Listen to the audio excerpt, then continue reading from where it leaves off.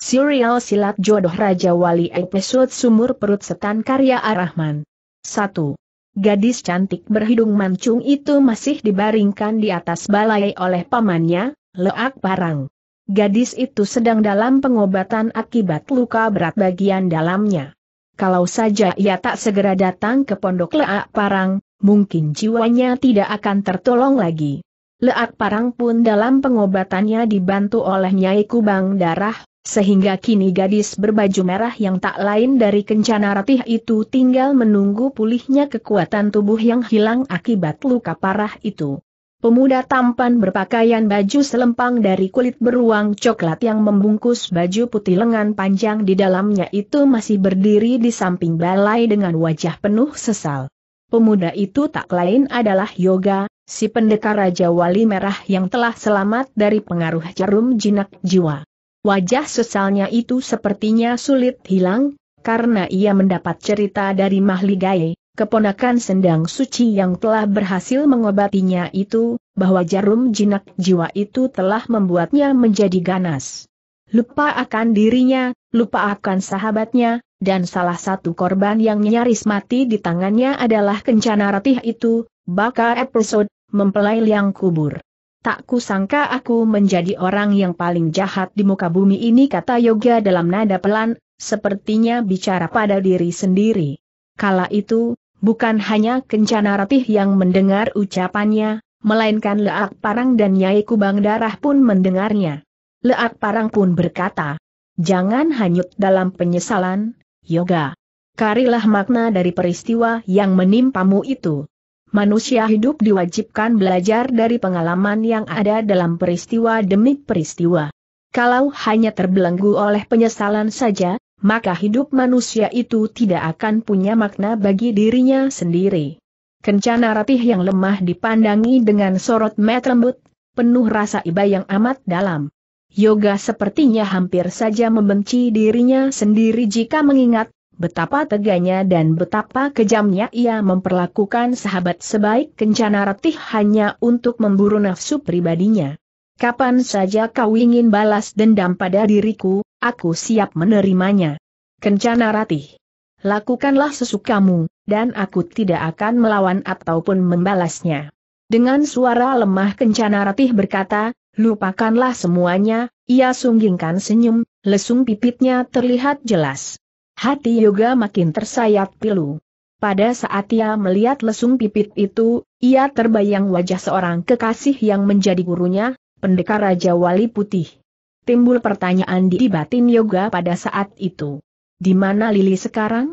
Kencana Ratih melanjutkan ucapannya, aku tak akan menuntut balas apa-apa padamu, karena aku tahu kau dalam keadaan tak sadar pada waktu itu. Jangankan untuk mengingat diriku, untuk mengingat siapa dirimu saja kau tak mampu, yo. Jadi, wajarlah jika kau menyerangku dengan jurus mautmu itu. Kuanggap, bukan kau yang menyerangku, melainkan pengaruh jahat dari jarum itu yang hendak membunuhku waktu itu. Sekarang, semua itu sudah tidak ada. Semua itu sudah berlalu, tak perlu kau merasa bersalah. Tangan kencana ratih meraih tangan yoga yang ada di sampingnya, lah menggenggam tangan itu seraya sunggingkan senyum lagi dan berkata, Aku akan sembuh. Aku akan sehat seperti sedia kala kau memaafkan aku, Sangat memaafkan jawab Kencana Ratih berusaha untuk tegas walau dengan suara lemah karena keadaan tubuhnya memang lemah. Kau tahu ke mana perginya Lili?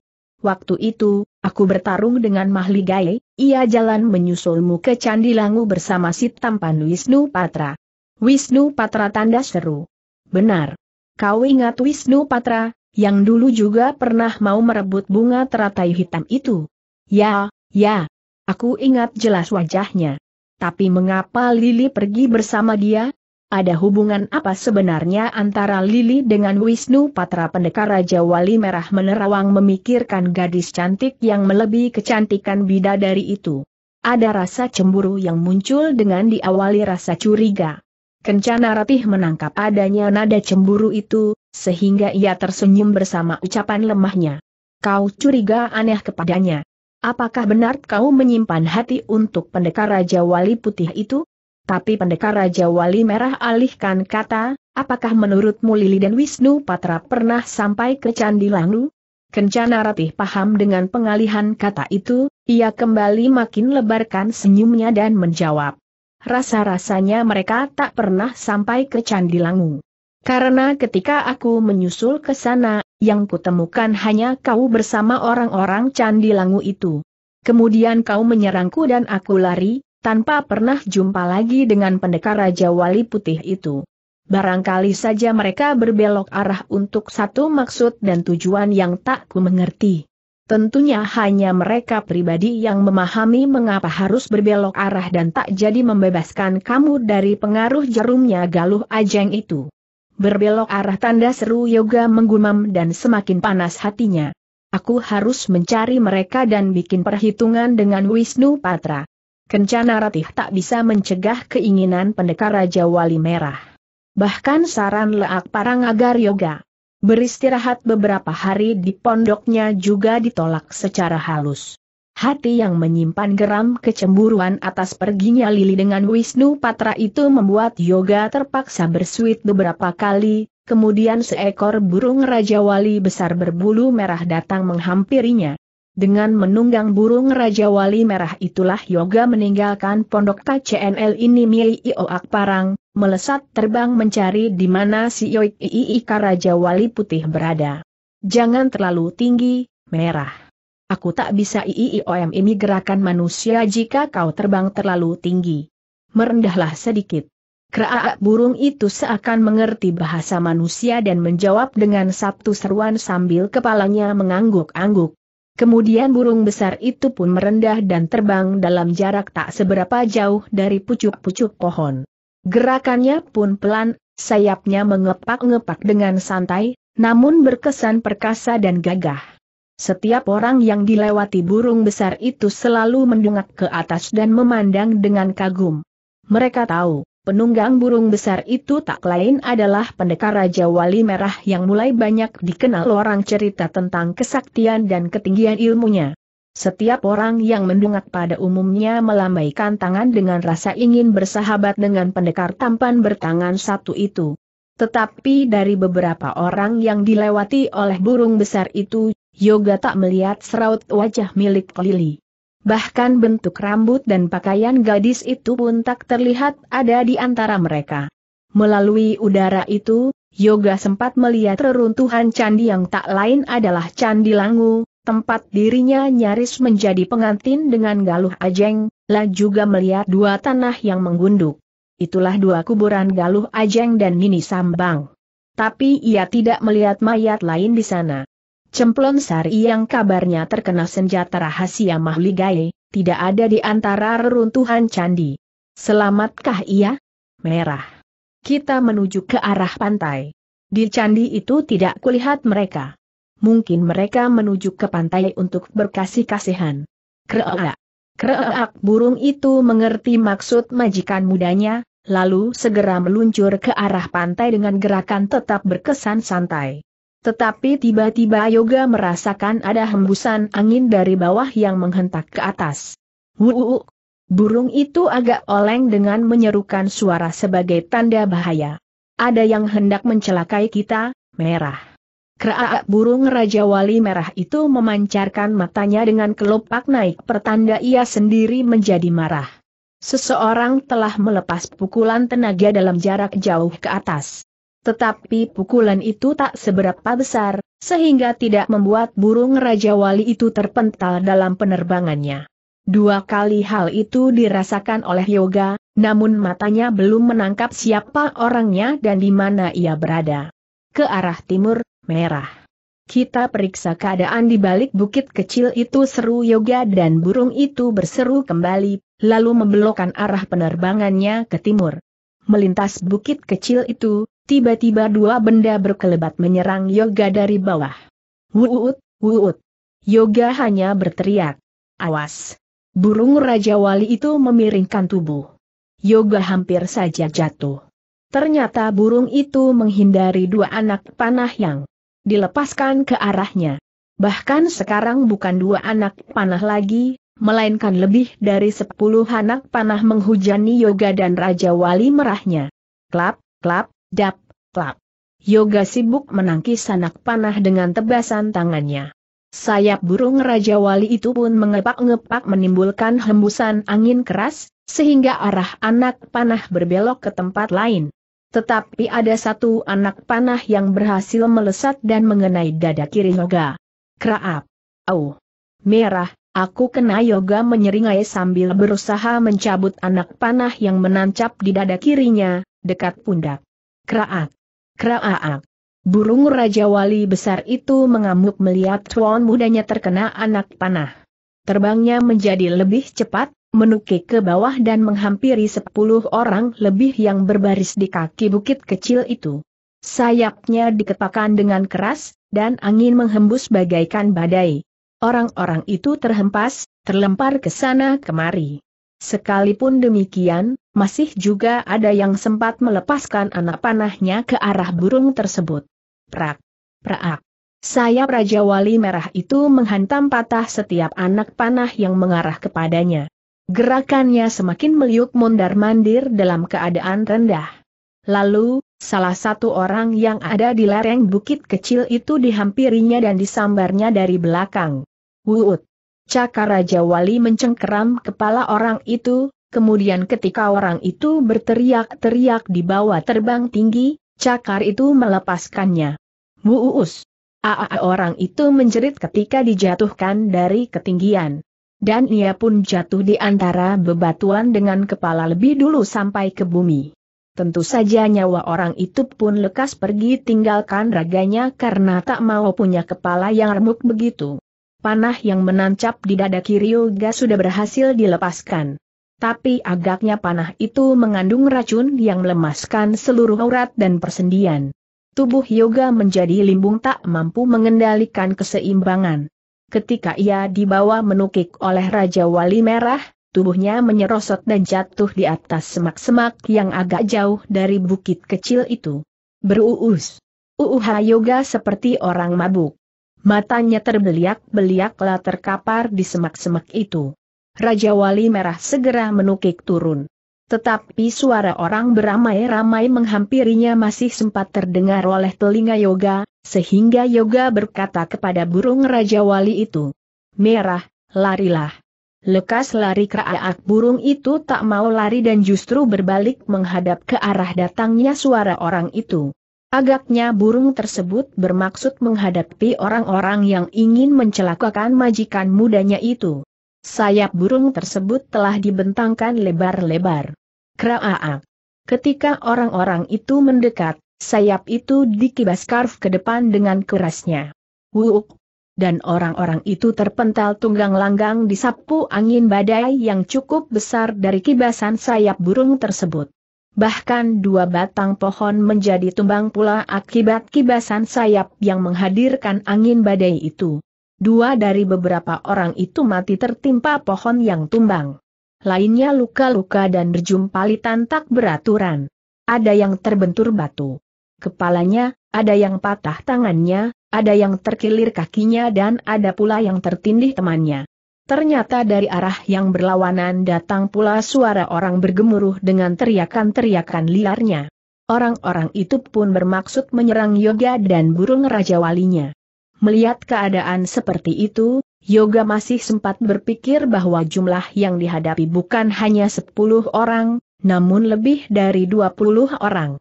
Ini cukup berbahaya jika harus dihadapi dalam keadaan luka lemas begitu. Maka ia putuskan untuk selamatkan diri. Itu pun tak mungkin dilakukan jika ia dalam keadaan tak mampu bergerak lagi. Merah. Lekas pergi kau. Terbang tinggi dan tinggalkan aku untuk sementara. Aku bisa hadapi mereka. Pergi kau, merah. Cepat lari.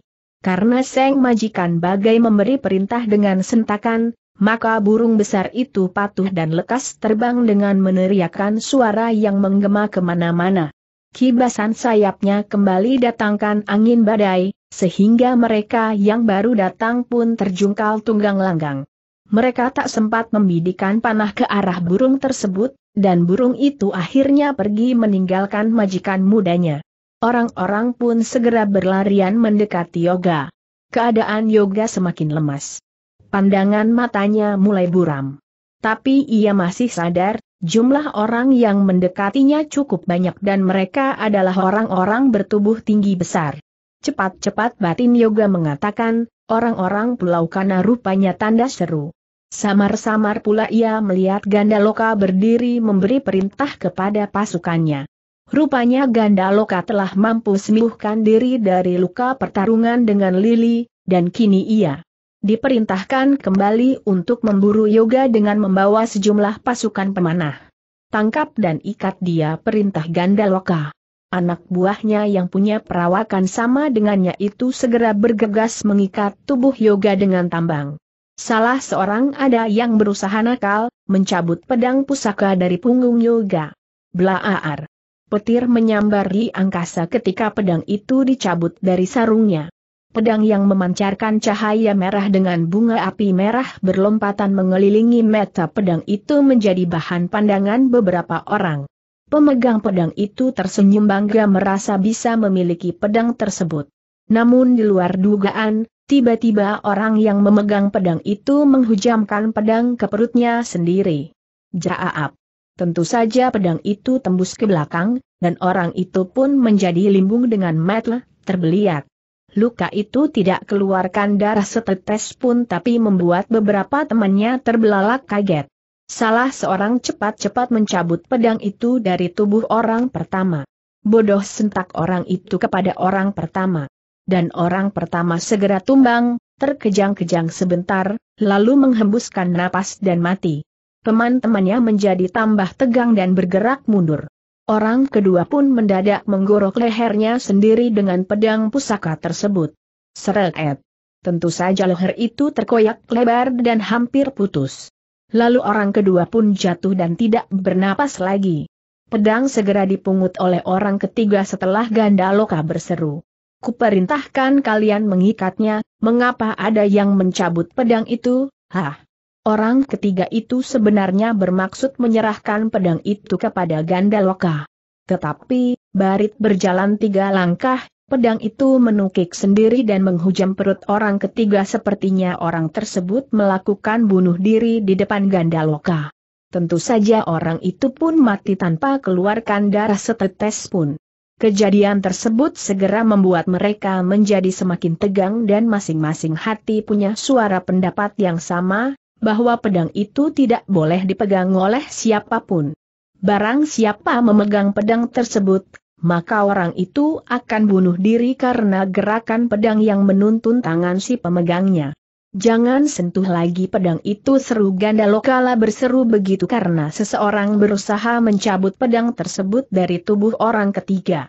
Mendengar seman Gandaloka yang mengejutkan itu, maka orang tersebut segera melepaskan pedang itu dan dibuang begitu saja dengan perasaan takut. Sudah kukatakan. Pendekar Raja Wali Merah ini orang berilmu tinggi. Kalian lihat sendiri, pedangnya bisa membunuh lawan tanpa digerakkan oleh pemiliknya. Sebab itu kuingatkan kepada kalian, ikat dan bawa pulang pendekar Raja Wali Merah ini kita serahkan kepada Gusti Ratu Kembang Mayat sebelum purnama tiba. Jangan ada yang coba-coba mau curi pedang itu kalau ingin selamat. Zlaap. Seru uup. Hah tanda seru mereka terkejut dengan mata membelalak. Pedang itu ternyata bergerak sendiri. Melesat dengan cepat, masuk ke sarungnya, untuk kemudian diam di sana tanpa ada gerakan lagi. Pada waktu itu, Yoga sudah tak sadar akan Dirinya, lah hanya melihat pedangnya masuk ke sarung pedang, dan setelah itu ia tak sadarkan diri. Angkat. Bawa ke kapal perintah Gandaloka. Maka, salah seorang segera mengangkat tubuh Yoga yang telah terikat dari batas dada sampai kaki. Pedang itu tetap tersandang di punggung dan masuk dalam ikatan tambang tersebut. Sebuah kapal berlayar dua telah menunggu di pantai. Mereka membawa Yoga ke kapal tersebut. Wajah-wajah mereka ada yang ceria, ada pula yang murung. Mereka yang murung karena merasa sedih atas kematian teman-temannya. Mereka yang ceria karena merasa berhasil menangkap pendekar tampan yang sulit dibujuk untuk dibawa pulang ke Pulau Kana atau Pulau Keramat. Kalau saja dia bukan calon suami Gusti Ratu, pasti kita akan bunuh dia, karena dia sudah bunuh banyak orang utusan dari Pulau Kana kata salah seorang yang hendak naik ke kapal. Temannya menyahut, sayang sekali Gusti Ratu Kembang Mayat tidak izinkan kita balas dendam padanya. Kalau diizinkan, sudah ku tantang bertarung saat di bukit kecil tadi. Tapi bagaimana dengan lukanya itu? Gusti Ratu Kembang Mayat pasti akan luka jika tahu pendekar Raja Wali Merah kita lukai. Itu urusan ganda loka. Pasti ganda loka akan sembuhkan luka itu dan menjadi hilang seperti tak pernah terluka. Pasti kita tidak diizinkan untuk bicarakan soal luka itu kepada Gusti Ratu, sebab Gusti Ratu bisa murka kepada ganda loka dan kita juga. Kalau ganda loka gagal sembuhkan yoga sebelum tiba di Pulau Kana, Bagaimana? Apakah kita akan sembunyikan dulu orang itu sampai lukanya hilang dan bersih? Mana mungkin? Gusti Ratu harus cepat melangsungkan pernikahan, karena waktunya tinggal dua hari lagi. Dua hari lagi malam purnama akan tiba. Jika Gusti Ratu tidak segera menikah, maka dia akan kita bunuh. Sebab Gusti Ratu Kembang Mayat telah menunjukkan bahwa ia manusia pembawa sial bagi rakyat negeri Lingga Praja. Kapal bertiang layar ganda segera berlayar menuju Pulau Kana. Kapal itu membawa tawanan calon suami kembang mayat. Jika kembang mayat tidak segera menikah sebelum purnama tiba, maka dia akan dihukum mati karena dianggap ratu pembawa sial. Sedangkan ratu baru bagi rakyat negeri Lingga Praja itu tidak mau menikah dengan pria lain kecuali pendekar Raja Wali Merah. 2. Kapal warna hitam melaju dengan cepat karena angin berhembus cukup kencang. Layarnya berkembang dengan lebar dan melembung ke arah depan. Di kapal itu, Yoga masih dibaringkan di atas pembaringan kayu berlapis kain tebal. Yoga masih dalam keadaan tak sadar.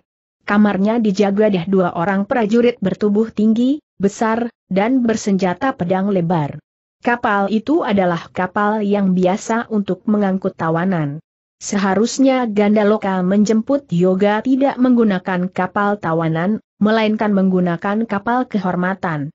Tetapi karena dua kali Gandaloka diutus untuk menjemput Yoga tapi justru menderita kekalahan dengan terbunuhnya beberapa anak buahnya itu, maka kali ini Gandaloka sengaja menjemput dengan kapal tawanan dan disertai oleh pasukan. Sejumlah 27 orang. Tujuh di antaranya meninggal saat terjadi penyerangan di bukit kecil itu. Gandaloka menengok keadaan Yoga di kamarnya. Ternyata masih belum sadar akibat pengaruh racun di ujung panah yang melukainya. Kemudian Gandaloka pergi meninggalkan kamar itu, dan kamar kembali ditutup rapat dengan penjagaan ketat. Gandaloka sempat berkata kepada kedua penjaga berkepala botak itu, hati-hati, jangan sampai ia lolos jika ia sadar nanti. Baik, perwira. Tak ada yang tahu bahwa yoga saat itu sebenarnya sudah mencapai tingkat kesadaran sempurna. Tetapi jiwanya seperti tertahan oleh suatu kekuatan yang membuatnya tak bisa membuka mata dan tak bisa bergerak sedikit pun. Sebelumnya, di ambang batas antara sadar dan tidak, Yoga seperti melihat seekor burung Raja Wali Merah terbang melintas di depannya. Burung Raja Wali Merah itu mendekatinya dari arah depan, lalu tiba-tiba wajah burung itu berubah menjadi wajah gurunya, yaitu Dewa Geledek. Muridku, bangunlah wajah Dewa Geledek itu sepertinya bicara jelas kepadanya. Yoga pada waktu itu seakan-akan dalam keadaan tidak terikat, sehingga ia segera memberikan sembah dan hormat kepada bayangan wajah sang guru. Kemudian terdengar suara sang guru berkata, Sudah menjadi suratan takdirmu, bahwa kau akan menjadi bahan rebutan pada wanita cantik. Jangan membuatmu kecil hati dan besar hati, muridku. Bersikaplah bijak dan wajar-wajar saja. Tak ada yang lemah dalam dirimu, tak ada yang hebat dalam dirimu juga. Guru, saya ingin bertemu dengan Lili. Akan terjadi, jawab bayangan wajah gurunya. Tetapi kau harus melalui sederetan peristiwa-peristiwa penting yang akan membuatmu semakin matang dalam berpikir, dewasa dalam bersikap. Semua dukamu, semua sukamu, adalah pelajaran berharga yang tak beroleh kau hindari. Agaknya orang-orang Pulau Kana ini akan membawa saya kepada kembang mayat dan saya akan dikawinkan dengan kembang mayat, guru. Memang. Tapi semua keputusan terletak dalam hati sanubarimu sendiri, muridku. Saya bosan berurusan dengan kawin paksa, guru. Bosan atau tidak bosan, kau harus melewatinya sebelum kau menemukan akhir dari perjalanan cintamu. Di mana letak akhir perjalanan cinta saya ini, Guru? Nanti kau akan tahu sendiri. Kehadiranku ini hanya ingin sampaikan pesan padamu, tabah dan tegakkan selalu kebenaran. Bantulah yang lemah, lawanlah yang jahat. Kali ini perjalanan cintamu punya makna besar. Kau harus selamatkan sebuah kitab kuno yang punya kekuatan dahsyat di dalamnya. Jangan sampai jatuh ke tangan orang-orang tak bertanggung jawab, tapi jangan pula membuat dirimu sesat. Kitab apa namanya, guru? Karilah dalam pengalaman batinmu sendiri, harus ku kemanakan kitab itu nantinya. Simpan dan serahkan kepada keturunanmu kelak. Yoga merasa heran ketika itu. Mengapa keturunan saya yang berhak menerimanya, guru? Karena kalian yang telah menyelamatkan kitab itu dari angkara murka. Dan keturunan kalianlah yang mampu kendalikan isi kitab itu. Nah, sekarang dekatlah kemari. Rasa-rasanya saat itu Yoga mendekati gurunya. Kemudian tangan sang guru terjulur, telunjuknya menempel pada bekas luka panah di dada kiri Yoga. Telunjuk itu menyala merah terang seperti cahaya dalam pedang pusakanya. Yoga merasakan hawa sejuk meresap masuk ke sekujur tubuhnya. Kekuatanmu bertambah, lukamu sembuh, tapi godaan cinta semakin bertambah pula. Hati-hati kau memilihnya, ucap sang guru yang ketika dipandangi yoga ternyata berubah menjadi kepala seekor burung rawa jali merah. Makin lama burung itu makin menjauh, lalu bayangan burung itu menghilang lenyap. Dan pada saat itulah yoga mengalami sulit bergerak, sulit membuka mata, namun telinganya mendengar suara deru ombak lautan dan angin membadailah merasakan kapal berguncang-guncang dipermainkan ombak. Beberapa saat kemudian, barulah ia bisa membuka matanya dalam satu sentakan napas kaget, lah mulai sadar bahwa apa yang dialaminya tadi hanya sebuah mimpi. Tapi dalam hati kecilnya ia bertanya, benarkah guru hadir dalam mimpi? Mengapa badanku terasa segar sekali, dan tidak merasakan sakit seperti tadi? Rasa-rasanya luka panah di dadaku sudah lenyap tanpa bekas dan kurasakan ada tenaga besar dalam denyut nadiku. Yoga berusaha merenggangkan tangan dan kaki, tapi buru-buru dikendurkan lagi. Hatinya kembali berkata, tambang keras ini sepertinya mudah kupatahkan dalam satu sentakan. Berarti tenagaku memang bertambah besar. Lalu, apa artinya bayangan wajah guru tadi? Mengapa bayangan wajah guru menyatu dengan bayangan si merah? Apakah Raja Wali Merah itu adalah jelmaan dari guru? Kurasa bukan.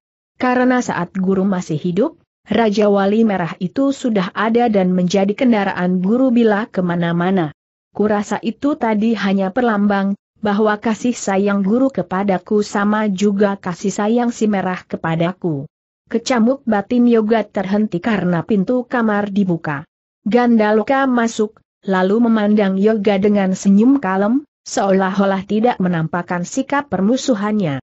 Gandaloka pun berkata, mari ku bantu untuk duduk. Tanpa kasar sedikit pun Gandaloka membantu Yoga untuk bangkit dan duduk. Setelah itu ia mengambil air minum yang ada di rak tertutup dekat dengan pintu keluar, lah mengeluarkan sebutir obat berbentuk seperti kotoran kambing, warna hitam kecoklatan. Sambil mengambil air minum Gandaloka berkata, Maaf, Aku terpaksa melakukan dirimu seperti ini. Aku tak punya jalan lain. Gusti Ratu mendesakku harus bisa menangkap dan membawa pulang dirimu, jika tidak kepalaku dipenggalnya. Sedangkan aku tahu, betapa sulitnya membawa kau pulang ke Pulau Kana. Aku bisa memahami perasaanmu, Gandaloka. Terima kasih. Sekarang, sebaiknya minumlah obat ini untuk menyembuhkan lukamu. Tak perlu, jawab Yoga sedikit dingin sikapnya. Ini bukan racun. Aku berani bersumpah apa pun, ini obat pengering luka dan penghilang rasa sakit. Waktu aku terluka oleh Lili, aku juga menelan obat ini. Kau terluka oleh Lili. Ya. Dia membela Wisnu Patra. Tak rela kalau Wisnu Patra ku lukai. Agaknya Lili menaruh hati kepada. Tanda petik. Cukup. Tak perlu bicara mereka lagi sergah yoga karena hatinya merasa panas jika terlalu lama mendengar uraian ganda loka itu. Baiklah. Sekarang kau mau minum obat ini simpan saja untuk dirimu kelak. Pendekar Raja Wali Merah, ku mohon minumlah supaya kau tidak terluka. Kalau kau kuserahkan kepada Gusti Ratu dalam keadaan terluka, aku bisa habis kena murkanya. Tolong mengertilah akan keadaanku yang serba salah ini, pendekar Raja Wali Merah. Yoga diam sebentar, berpikir sesuatu, kemudian ia menatap Ganda Loka dan berkata, Barangkali aku tidak membutuhkan lagi obat itu untuk saat ini. Kau dalam keadaan lemah. Kau harus sehat dan segar seperti sedia kala, Yoga. Aku sudah sehat, jawab Yoga, kemudian tangan dan kakinya menyentak mengembang, dan dalam satu sentakan tambang-tambang pengikat tubuh itu putus menjadi beberapa potong. Teras. Kau lihat sendiri aku sudah sehat, bukan? Gandaloka tidak menjawab karena terkesima melihat tambang-tambang alot itu dapat putus dalam satu sentakan. Semakin kagum lagi Gandaloka setelah melihat luka bekas tusukan panah itu tidak ada. Kering sama sekali. Bahkan kain dari beruang coklat yang dipakai yoga itu tidak terlihat robek. Lagi. Gandaloka baru sadari hal itu setelah melihat tambang bisa putus dalam satu sentakan. Kalau aku mau lari, aku bisa lari sejak tadi. Kalau aku mau bunuh kamu, aku bisa lakukan sejak kau menengokku tadi. Tapi tahukah kau kenapa aku tidak lakukan semua itu? Karena kau menghormatiku Gandaloka mencoba menebak. Yoga menggeleng. Karena agaknya aku harus melewati jalan ini, yaitu ditawan dan dibawa di Pulau Kana. Sudah berapa kali aku menghindar dan menolak, toh akhirnya terjadi juga begini. Berarti memang ini adalah jalan yang harus kulalui, dan tentu saja punya tujuan tertentu yang tidak mudah dipahami oleh orang lain, juga oleh diriku sendiri. Aku salut padamu, kata Gandaloka tiba-tiba, setelah mereka sama-sama diam beberapa saat. Aku sebenarnya mengagumimu, walau kau telah membunuh anak buahku. Tapi aku mengakui, kau orang hebat. Tidak ada kehebatan apa pun dalam diriku. Aku dan kau biasa-biasa saja dan sama. Hanya kadang yang membuat kita berbeda adalah kesempatan yang kita peroleh. Kesempatan untuk menang dan kesempatan untuk kalah. Di negeri ini tidak ada orang sehebat kamu. Yoga tersenyum, memandang ke arah jendela kecil dari kaca berbentuk bundar, lah menatap lautan lepas di sana, lalu berkata dengan suaranya yang penuh kesan bersahabat. Bisa ku bayangkan beratnya tugasmu, Gandaloka. Aku tahu jiwamu bukan jiwa orang sesat. Tapi jika negerimu diperintah oleh kembang mayat, maka rakyatmu akan menjadi orang sesat pula.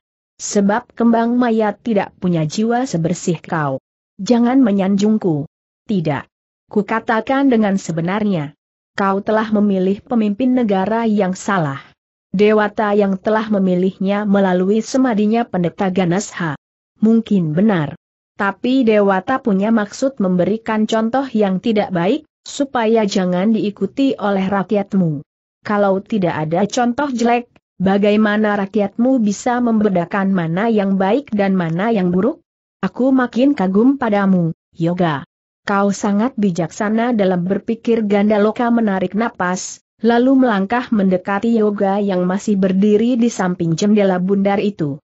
Ganda loka berkata, kalau kita bersahabat, dan kalau aku punya waktu cukup lama berada bersamamu, aku akan menjadi secerdas kau, Yoga. Buh. Yoga memukul pelan dada ganda loka sambil tertawa. Jangan berlebihan menilaiku. Pikirkan saja kapalmu ini, apa maksudmu berkata begitu? Di sebelah barat ada badai bergulung-gulung. Perintahkan pada mahkoda untuk putar haluan ke utara saja. Gandaloka terkejut mendengar kata-kata Yogala memandang ke arah barat melalui jendela kamar itu. Tapi ia tidak melihat awan bergulung dan badai menghitam di sana. Gandaloka menjadi sempat bimbang, lah dia merenungkan ucapan yoga, sedangkan yoga hanya duduk di pembaringan sambil memandangi tangannya yang buntung itu. Kau ingin memperdaya diriku, yoga Gandaloka bertanya karena penasaran, tak bisa tentukan sikap. Untuk apa? Kalau kau anggap kata-kataku bohong, untuk apa aku membohongimu? Untuk melarikan diri. HRNM kudobrak kamar ini dan aku lompat ke laut dengan menyelam sedalam-dalamnya, tak akan mungkin kau dan orang-orang kapal ini bisa menangkapku kembali.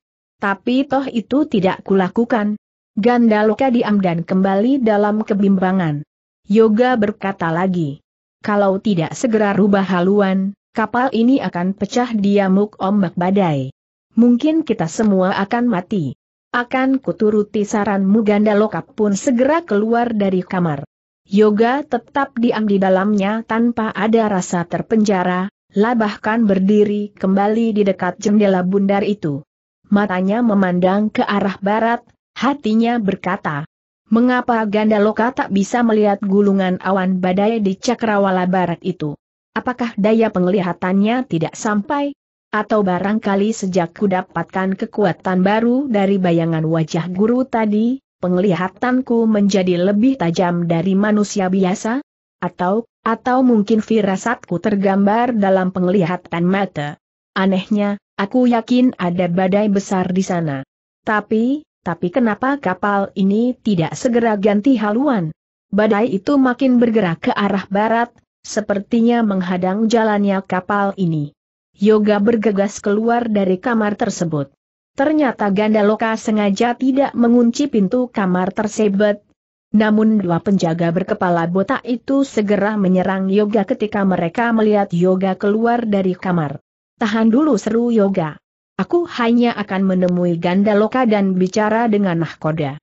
Masuk bentak salah seorang dengan menodongkan golok besarnya. Yoga terpaksa berbalik arah, namun ternyata kakinya cepat menendang ke belakang. Tendangan kaki itu mengenai senjata lawan dan senjata itu patah seketika.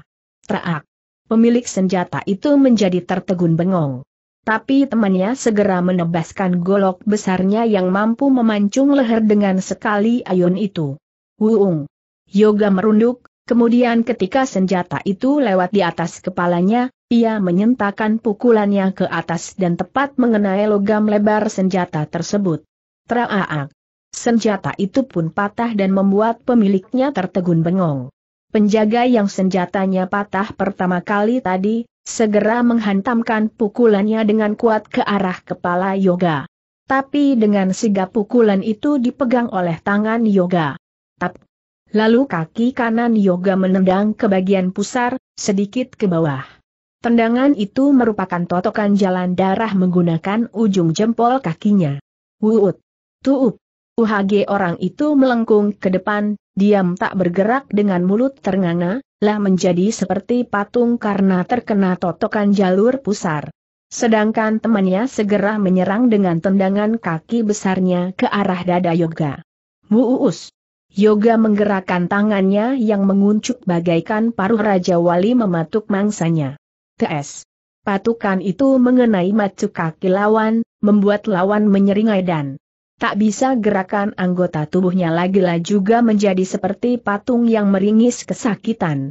Maaf, terpaksa kulakukan pada kalian kata Yoga, kemudian cepat berlari menuju ruang nahkoda. Rupanya beberapa awak kapal melihat perkelahian di depan pintu kamar tadi. Dua orang segera berlari menyerang Yoga dengan teriakan panjang sebagai penggugah kesadaran para awak kapal lainnya. Yoga yang berlari ke arah dua orang itu segera melompat dan dua kakinya menendang ke kanan kiri secara bersamaan. Prook. Kedua wajah orang itu menjadi sasaran kaki Yoga. Kini Yoga pun menaiki tangga dan menuju ruang nahkoda. Di ujung tangga ada seorang bersenjata tombak yang menghadang.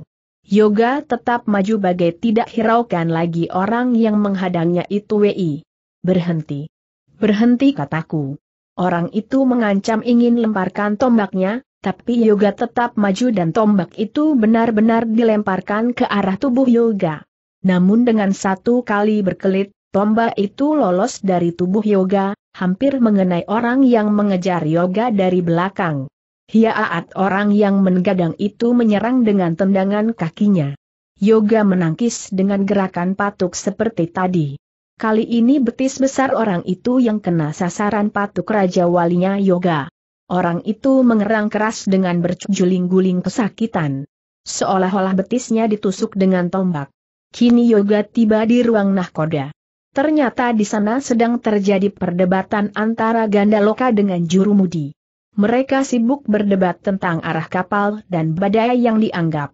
Tidak ada itu. Mereka tidak hiraukan pertarungan Yoga dengan para awak kapal yang menghadang larinya tawanan. Ketika Yoga masuk ke ruang nahkoda, Jurumudi dan Gandaloka diam berdebat dan saling memandang Yoga. Percayalah apa kata Gandaloka itu. Arahkan haluan ke selatan. Badai ganas menghadang jika kita menuju ke arah barat. Jurumudi yang berewokan itu berkata dengan gerotot, lihatlah dengan matamu baik-baik, tak ada awan hitam di sana. Langit cerah dan angin pun berkecepatan sedang. Mana mungkin ada badai. Tiga orang masuk dengan bersenjatakan pedang. Gandaloka segera sadar bahwa Yoga dianggap tawanan oleh mereka. Perginya Yoga dari kamar dianggap hendak meloloskan diri. Karena itu, Gandaloka segera berkata kepada Yoga. Kembalilah ke kamarmu. Anak buahku menganggap kau tawanan yang akan lari. Baik. Tapi bujuk Esi Berwok itu agar hindari badai besar nanti. Akan kuatasi dia kata Gandaloka pelan. Yoga pun kembali ke kamarnya. Ketika mau keluar dari ruang nahkoda, seorang pengawal bersenjata pedang menarik lengan Yoga dengan kasar. Yoga berontak dengan sentakan sikunya yang masuk ke perut orang itu. Duh, uh, orang itu menyeringai kesakitan sambil terbungkuk-bungkuk. Wajahnya menjadi pucat seketika. Dua orang lagi yang mau membawa pulang Yoga ke kamar, kini dipandangi Yoga dengan mata tajam. Kedua orang itu menjadi ciut nyali melihat wajah marah pendekar Raja Wali Merah itu. Mereka sama-sama diam dan salah tingkah. Gandaloka berkata, jangan perlakukan dia seperti tawanan. Ingat, dia adalah pendekar Raja Wali Merah. Kalian tak akan mampu mengalahkannya jika bertarung di atas geladak kapal ini. Gandaloka menjaga sikap, La sendiri tidak bermaksud memusuhi Yoga. Karena itu, anak buahnya segera diberi pengarahan tentang bagaimana seharusnya bersikap kepada Yoga. Sementara itu, pendekar Raja Wali Merah di dalam kamarnya hanya diam dengan hati dongkol. Perasaan cemas makin menggoda jiwala semakin yakin kapal itu akan dijungkir balikan oleh badai ombak yang mengamuk, dan entah berapa orang yang akan selamat nantinya. Keyakinan seperti itu makin kuat, makin membuatnya heran, sehingga pendekar Raja Wali Merah pun bertanya dalam hatinya. Mengapa aku punya firasat sekuat ini? Apakah karena mendapat hawa sejuk dari bayangan wajah guru tadi? 3. Firasat yoga benar. Badai datang, ombak mengamuk. Kapal dihempaskan angin badai, diombang-ambingkan ombak samudera. Akhirnya kapal itu pecah, para awak kapalnya banyak yang menemui ajal. Gandaloka tak sempat selamatkan anak buahnya, La sendiri hampir saja mati kejatuhan tiang layar. Dari sekian banyak penumpang kapal, hanya empat orang yang selamat. Mereka terdampar di sebuah pulau kecil yang cukup subur. Mereka yang selamat adalah Gandaloka, Juru Mudi, Rowulu, dan Asoma, si penjaga kamar tawanan yang pernah mendapat totokan jalur pusar dari Yoga. Sedangkan Yoga sendiri sempat dianggap mati oleh mereka. Tetapi ketika mereka mencoba mencari sambil menyusuri pantai, mereka temukan Yoga dalam keadaan sehat. Duduk di atas batu karang sambil termenung. Mereka terkejut melihat Yoga, dan Yoga pun terkejut melihat mereka. Rupanya Yoga pun menganggap mereka telah mati semua. Sehingga, pada waktu mereka bertemu, rasa gembira meliputi diri mereka. Satu nyawa yang selamat dan ditemukan, sepertinya satu anggota keluarga yang hilang dan telah diketemukan kembali. Anehnya, mereka berempat menjadi tidak lagi beranggapan bahwa yoga adalah tawanan. Mereka seperti menemukan saudara sendiri. Kalau saja kata-kataku dipercaya, tentunya tidak akan begini jadinya, kata Yoga kepada Jurumudi, dan ucapan itu membuat Jurumudi menjadi murung sedih, lah segera menjauhkan diri dari mereka. Jangan kau sesali peristiwa ini, tapi jadikanlah pelajaran biar kau menjadi orang bijak tambah yoga kepada Jurumudi, namun yang diajak bicara diam sajalah termenung di seberang sana, duduk di bawah sebuah pohon pantai sejenis kelapa, namun mirip pohon pinang. Batang pohon itu besar, sehingga bayangannya dapat untuk berteduh. Kita kehilangan kapal, perwira kata Robulu. Jangan bicara begitu. Sama saja kau bicara tentang kebodohanmu. Karena kita semua tahu bahwa kita telah kehilangan kapal. Kalau mau bicara, bicaralah tentang bagaimana mencapai Pulau Kana kata Asoma dengan bersungut-sungut. Gandaloka hanya tersenyum tipis. Dengan bersikap bijak, Gandaloka berkata kepada Rowulu dan Asoma. Banyak jalan untuk mencapai Pulau Kana. Kita cari saja, yang mana jalan yang tercepat. Pulau apa ini namanya tanya Yoga sambil memandang sekeliling. Tak jelas, kata Gandaloka. Pulau ini tidak pernah kami lihat dalam setiap pelayaran menuju tempatmu atau ke tempat lain. Rawulu menyahut, mungkin Jurumudi tahu, karena dia lahir dan besar di kapal. Coba kita tanyakan. Pada, Rawulu berhenti bicara, lah terkejut memandang Jurumudi dan berseru. Hei, apa yang mau dia lakukan itu? Gandaloka pun terperanjat. Celaka. Dia mau bunuh diri. Juru Mudi duduk dengan bersila. Tangannya mengembang dengan keluarkan otot dan tenaga cukup kuat.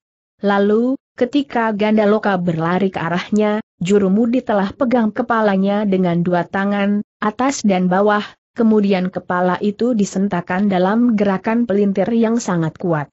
Kraat. Maka, matilah jurumudi dengan cara bunuh diri yang dipilihnya sendiri. Bodoh Gandaloka membentak jengkel, karena dia terlambat mencegah gerakan jurumudi. Mereka datang terlambat, jurumudi sudah tidak bernapas lagi. Yoga memeriksanya dan merasa tak bisa menolong.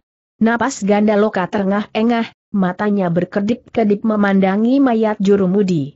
Wajahnya menampakkan rasa jengkel dan sedih. Terdengar Rowulu ucapkan kata. Mengapa dia bunuh diri? Alangkah bodohnya dia. Perasaan bersalah menghantuinya jawab Pilga. Dia merasa sangat bersalah, karena dialah orang yang ngotot sewaktu aku dan Gandaloka menyuruhnya putar haluan. Dia tidak mau karena dia tidak melihat ada badai di depan kapal. Setelah terjadi peristiwa ini, dia merasa bersalah, karena menjadi pembunuh nyawa teman-temannya sendiri. Baginya tak ada jalan lain buat menebus kesalahan itu kecuali dengan cara bunuh diri. Asoma angkat bicara setelah tarik napas dalam-dalam, kurasa dia ingin menjadi jurumudi yang baik. Kapal pecah, jiwanya pun ikut pecah. Kapal mati, dia pun harus ikut mati. Gandaloka segera lepaskan diri dari kedukaannya, lah segera berkata kepada Asoma, kuburkan dia di sini. Dan kau, Rawulu, bantu aku tebangi pohon. Kita bikin rakit untuk mencapai Pulau Kana. Bagaimana dengan aku tanya Yoga kepada Gandaloka? Istirahatlah. Biar kami yang kerjakan semua ini. Tak adil. Aku juga harus ikut kerja kata Yoga membuat Gandaloka tak bisa bicara lagi. Maka, mereka bertiga bergegas memilih pohon kelapa yang lurus untuk dijadikan rakit. Asoma menghantam batang pohon kelapa dengan tangan kosong. Duup. Kraat. Beruus. Batang pohon kelapa itu pun tumbang seketika. Begitulah mereka menebangi pohon kelapa dengan tenaga dalam masing-masing. Tetapi orang-orang Pulau Kana itu sempat dibuat bengong oleh cara kerja pendekar Raja Wali Merah. Yoga memilih tiga batang pohon kelapa yang berjajar, lah menghantamkan tangan kanannya pada pohon pertama. Duup. Pohon itu roboh. Tapi dua pohon lainnya pun ikut. Roboh bersusulan. Rupanya satu pukulan dapat kenai tiga batang kelapa sekaligus. Tentu saja mereka terbengong-bengong memandang Yoga. Mengapa kita tidak bisa seperti dia bisik Robulu? Gandaloka menjawab pelan, karena ilmunya lebih tinggi daripada ilmu yang kita miliki. Kenapa dia punya ilmu setinggi itu? Kita berbeda aliran. Dia aliran guntur, kita aliran bumi bagaimana kalau kita berguru saja dengannya? Bukan waktunya, Jawab Gandaloka sambil mengangkat batang kelapa yang baru tumbang untuk dijajarkan dengan yang lain. Satu pohon utuh diangkatnya sendiri, dan itu merupakan pekerjaan yang ringan buat orang-orang pulau Kana yang bertubuh seperti raksasa itu. Tiba-tiba mereka dikejutkan oleh suara pekikan Asoma yang sedang menguburkan mayat Jurumudi. Ak ah ah. Asoma tanda seru. Kenapa dia Rowulu menjadi tegang? Gandaloka cepat berkelebat menghampiri Asoma. Yang lainnya segera menyusul, termasuk pendekar Raja Wali Merah. Tapi mata pendekar Raja Wali Merah cepat menyapu seluruh tempat yang terjangkau oleh pandangan matanya. Keadaan tampak tenang-tenang saja dan sepi, tanpa gerakan apa pun, kecuali gerakan angin dan suara deru ombak pantai. Asoma jatuh berlutut di samping tanah yang baru saja dipakai menguburkan jurumudi mulutnya menyeringai kesakitan sambil mendekap dadanya. Tangan yang dipakai mendekap dada itu berlumur darah. Gandaloka segera memeriksanya, ternyata dada Asoma berlubang sebesar kelingking. Warna darahnya merah kehitam-hitaman.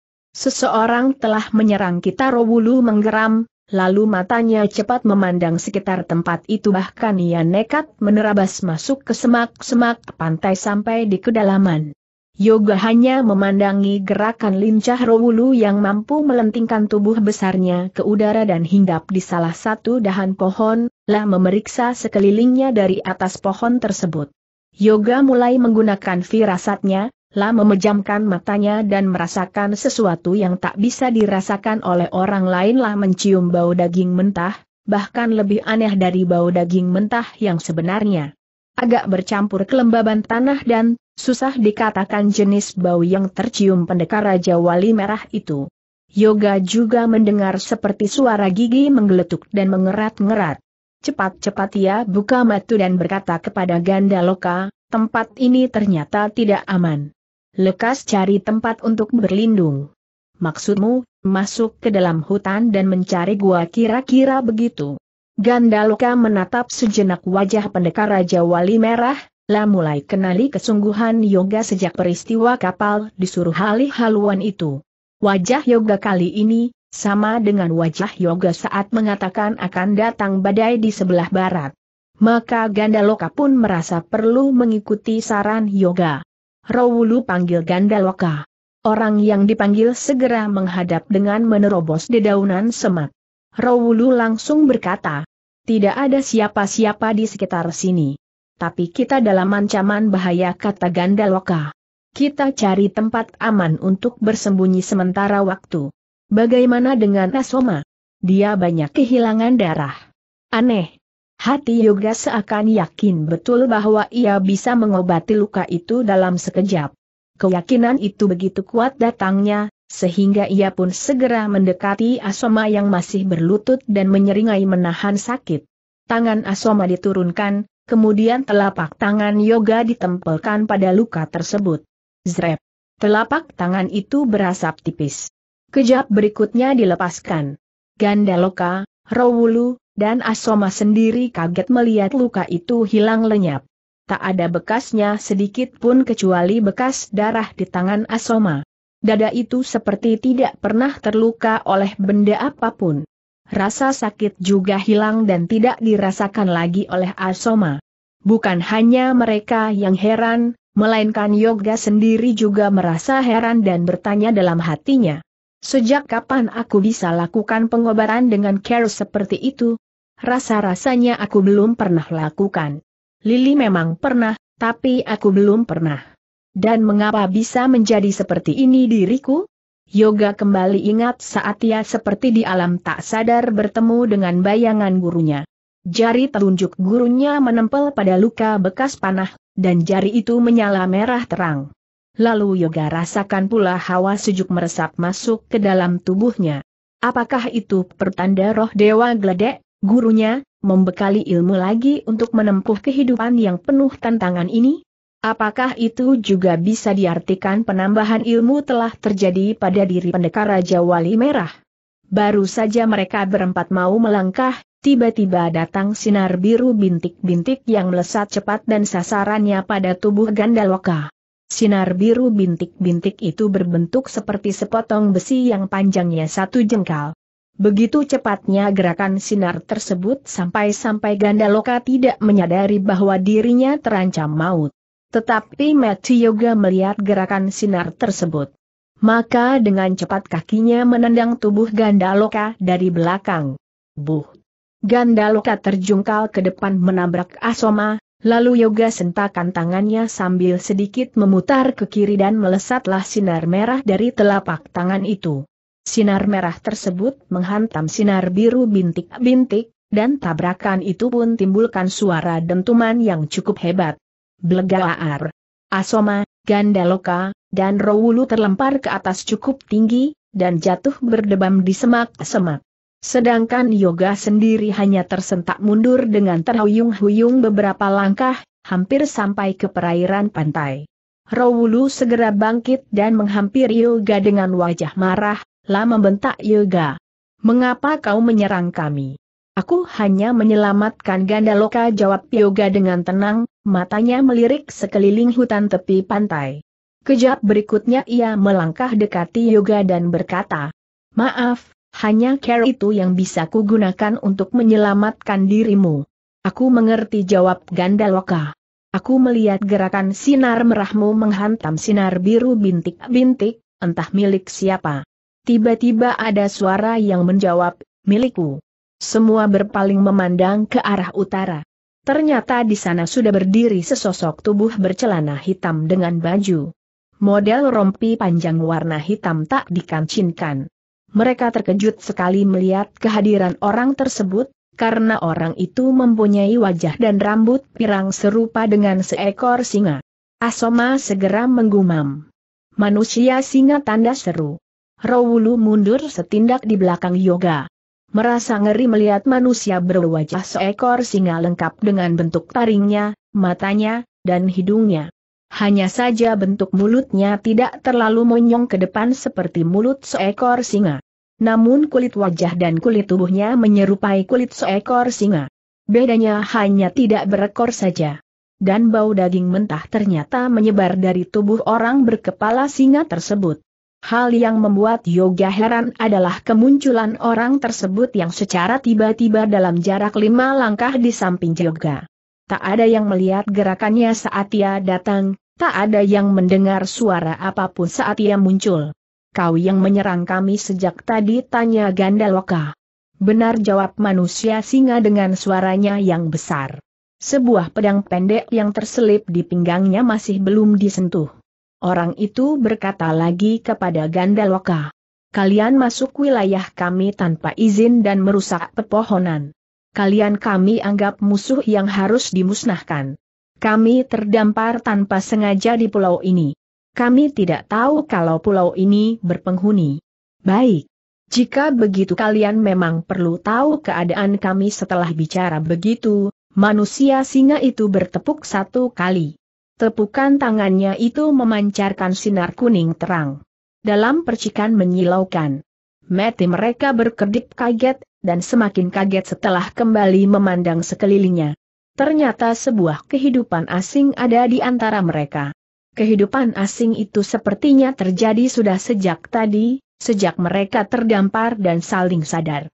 Tentu saja mereka menjadi terbengong-bengong melihat perahu-perahu ditambatkan di tepi pantai, kesibukan orang menarik jala-jala ikan, kesibukan orang memperbaiki perahu mereka, dan kesibukan orang mengurung mereka membentuk lingkaran besar.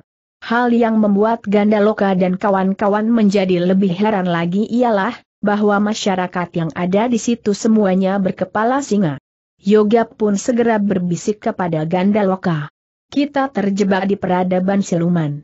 Apakah mereka siluman? Setahuku mereka sekelompok manusia singa bisik Gandaloka juga. Mereka ada sejak tadi, orang yang menyerang kita itu telah membukakan selaput mata indera keenam kita sehingga bisa melihat kehidupan seperti ini, yang tentu saja tidak bisa dilihat oleh orang lain di luar kelompok mereka. Apa yang harus kita lakukan bisik Asoma? Jangan menyerang dulu. Ikuti dulu apa kemauan mereka. Kita telah terkurung, dan mereka tampaknya ganas-ganas jawab Gandaloka didengar oleh kelompoknya sendiri. Orang berpakaian hitam yang tadi bertepuk tangan satu kali itu berkata lagi. Inilah kami. Kalian telah lakukan kesalahan besar, datang tanpa permisi, langsung merusak alam milik kami. Kalian harus dihukum sesuai dengan keputusan Kalaratak, ketua kami. Orang-orang yang mengurung mereka jumlahnya lebih dari 15. Beberapa di antaranya ada yang menggeram-gerah seperti suara singa, Pancaran mati mereka memandang buas, seakan tak sabar ingin segera menerkam. Asoma dan Rowulu sempat cemas, karena empat orang berwajah singa yang ada di belakangnya sesekali menghentak dalam merangan buasnya.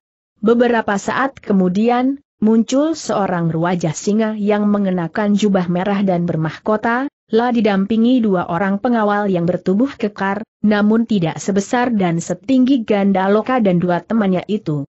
Ketika orang bermahkota itu datang, para pengurung segera memberi jalan dan tundukkan kepala sebentar sebagai hormat kepada orang bermahkota. Orang itu bagai tak pedulikan hormat tersebut, ia langsung mendekati kelompoknya Gandaloka. Matanya memandang dengan berbinar-binar buas, seperti seekor singa menemukan mangsanya dalam keadaan lapar. Setiap wajah diperhatikan oleh orang bermahkota itu tanpa ada sikap bersahabat sedikit pun. Kemudian ia berkata dengan tak ramah. Siapa kalian? Berani-beraninya kalian masuk wilayahku, hah? Gandaloka yang menjawab, kapal kami pecah, dan kami terdampar. Lalu kami bermaksud membuat rakit untuk pulang. Kami tidak punya perahu atau kapal untuk kembali ke asal kami. Kalian agaknya orang-orang Pulau Kana. Benar jawab Gandaloka menampakkan ketegasannya. Kalian pasti memata-matai tempat kami untuk merebut Pulau Singa ini. Kalian harus dipotong untuk pesta rakyat Pulau Singa. Tunggu dulu sergah Gandaloka, karena beberapa orang sudah bersiap untuk menyergapnya. Kami bukan mata-mata. Kami tiba di sini tidak dengan maksud jahat sedikit pun. Kami terkena musibah dan kami tidak lihat kalau di sini ada kehidupan seperti ini. Kalau kami tahu, kami pasti akan menemuimu untuk meminta izin, sekaligus meminta tolong. Kalau saja sekarang juga kami punya perahu, kami akan pergi secepatnya, karena kami sendiri punya urusan penting. Kemudian orang bermahkota yang tentunya adalah Raja Singa atau ketua mereka itu, segera berkata kepada orang yang pertama kali dilihat oleh Gandaloka dan kelompoknya. Siapkan kurungan. Baik kala tak sangar orang itu segera bergerak pergi memenuhi permintaan tersebut. Tapi tiba-tiba orang bermahkota yang dipanggil sebagai kalarata sangar itu berseru. Kosongkan saja kurungan di dalam istana itu baik, Kalaratak jawab orang yang tadi bertepuk satu kali, dan segera lanjutkan langkahnya.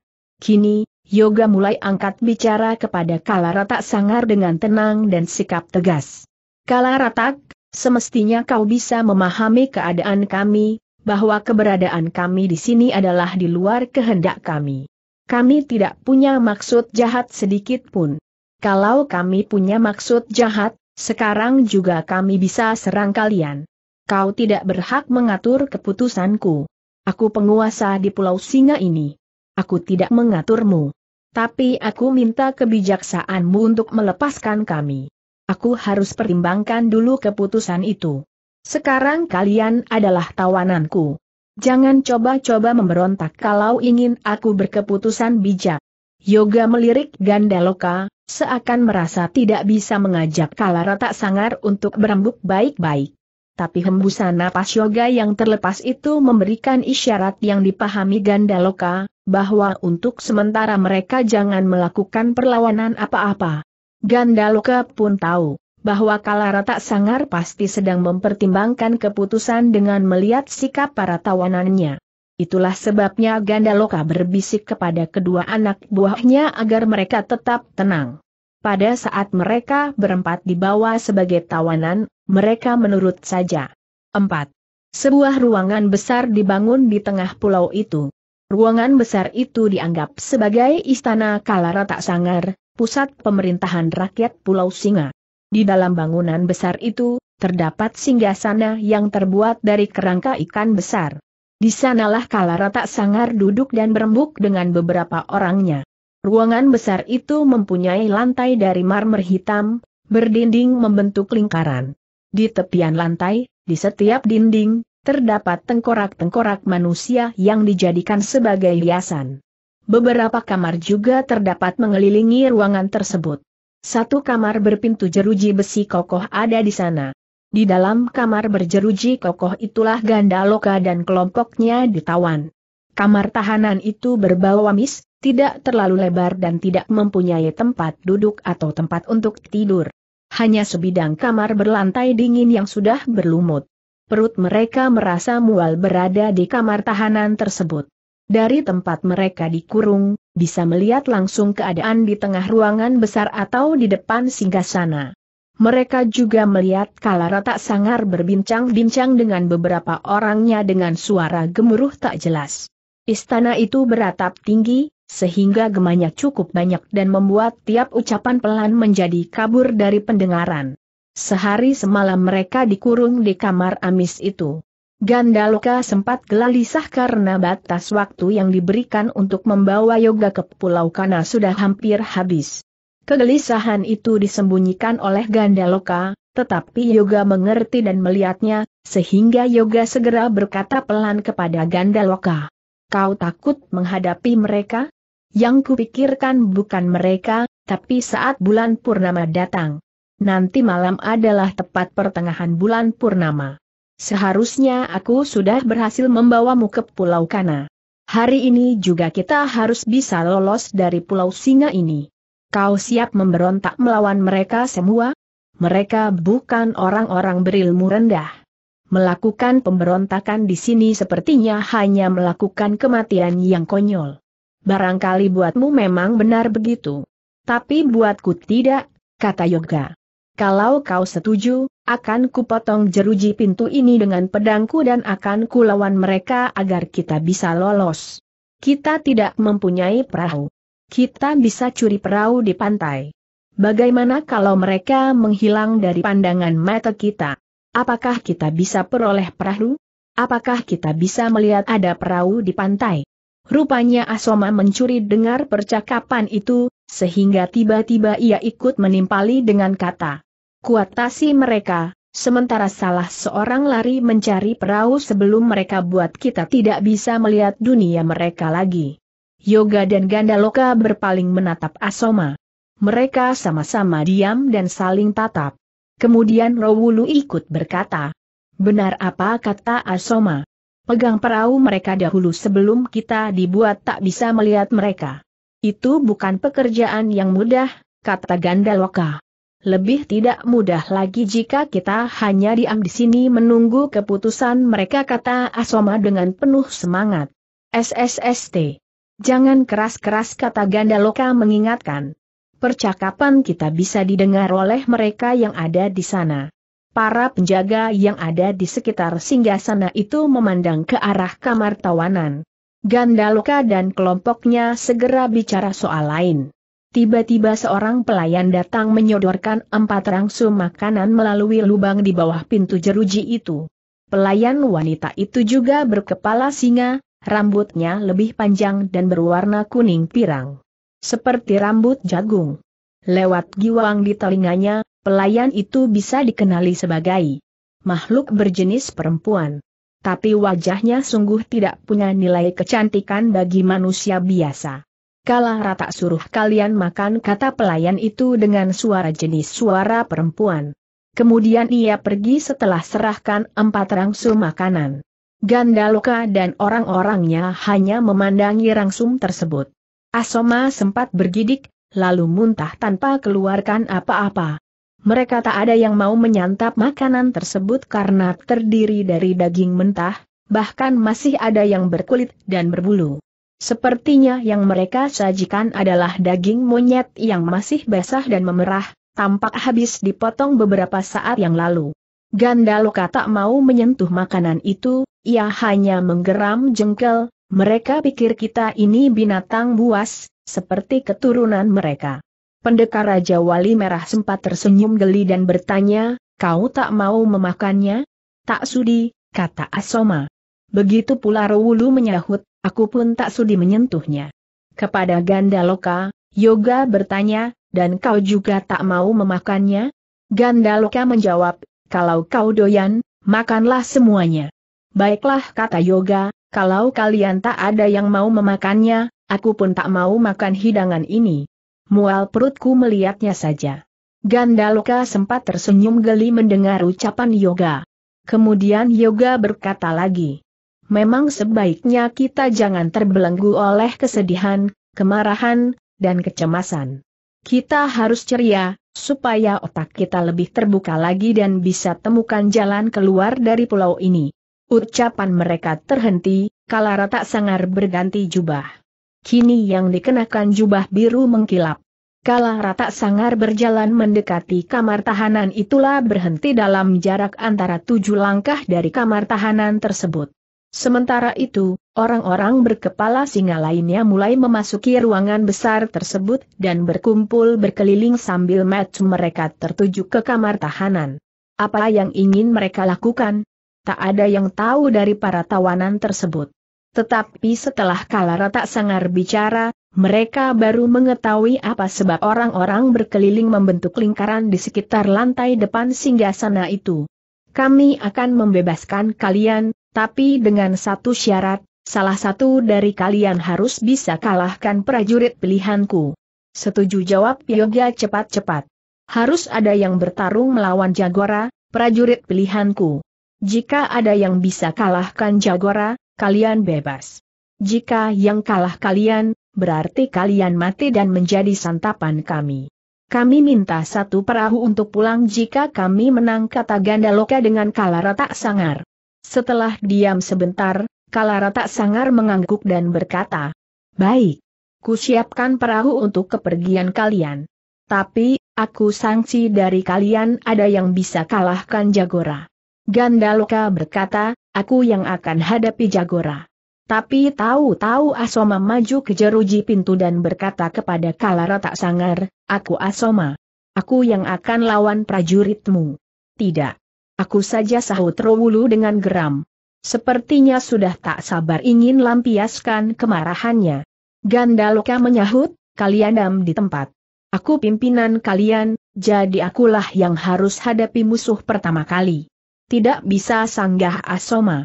Dia aam bentak kalara tak sangar. Aku yang akan tentukan siapa orangnya yang harus bertarung melawan Jagora. Gandaloka dan kelompoknya saling pandang dalam bungkam.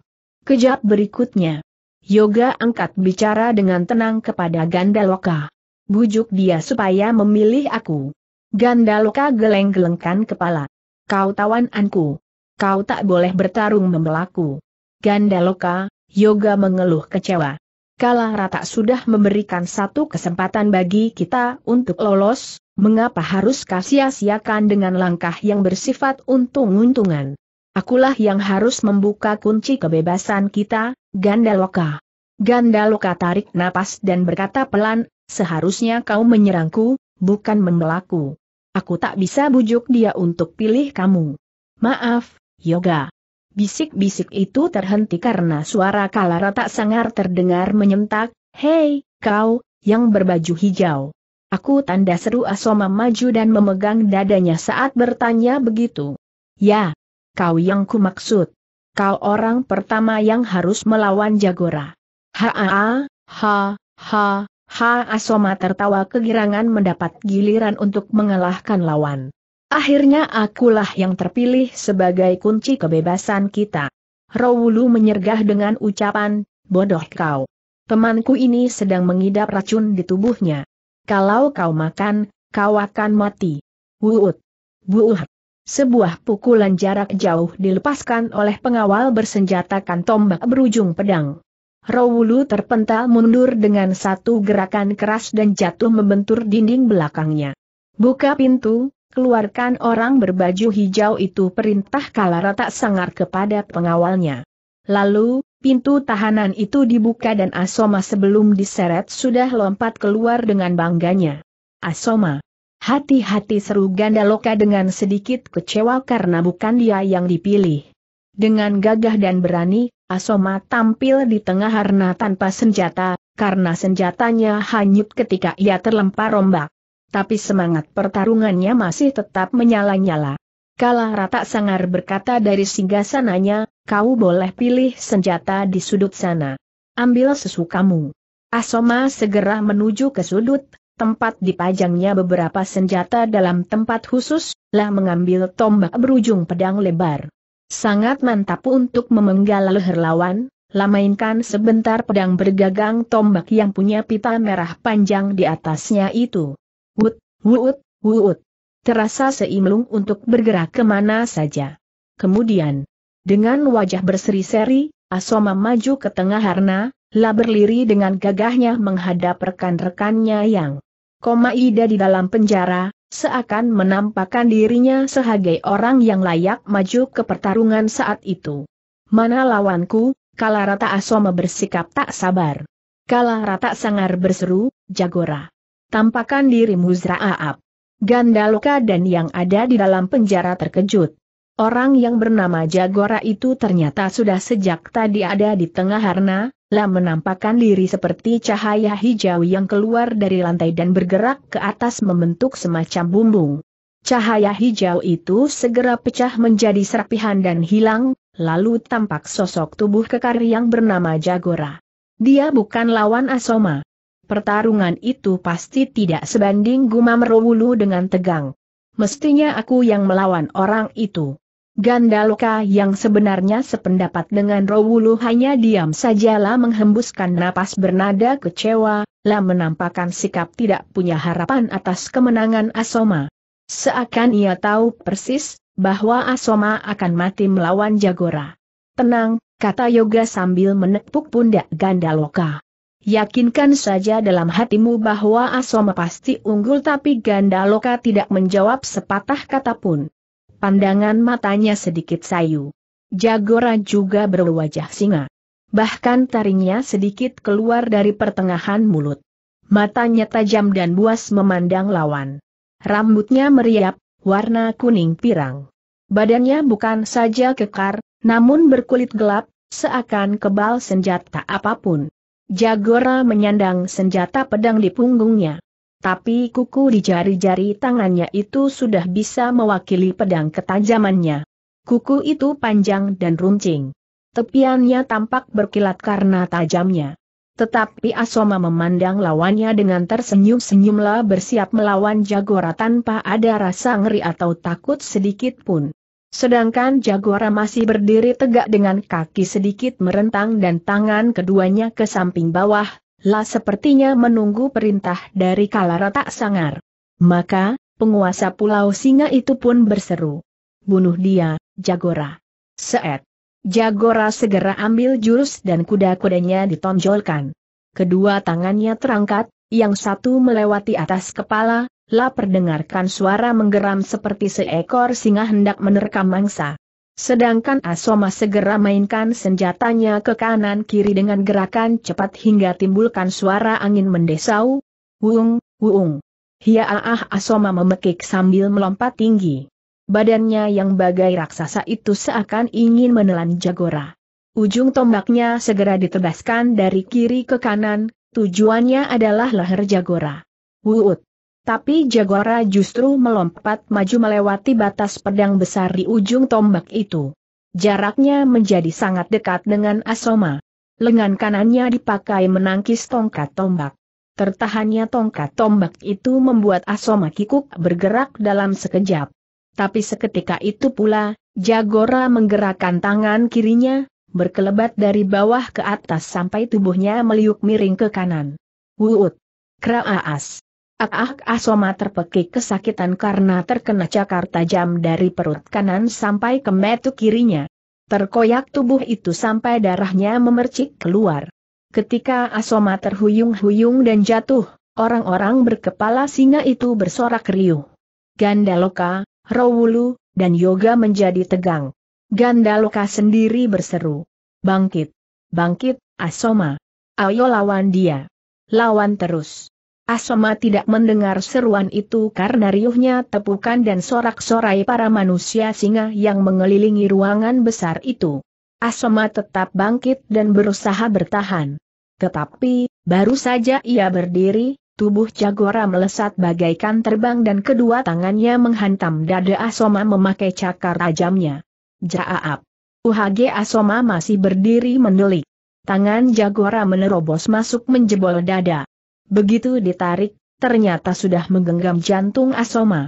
Jantung itu ditunjukkan kepada rakyatnya, lalu dengan terangkatnya tangan Jagora maka semua yang hadir di situ bersorak lebih girang lagi.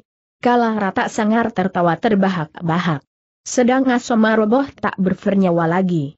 Gandaloka dan konco-konconya mendelik melihat apa yang dilakukan oleh Jagora terhadap diri Asoma.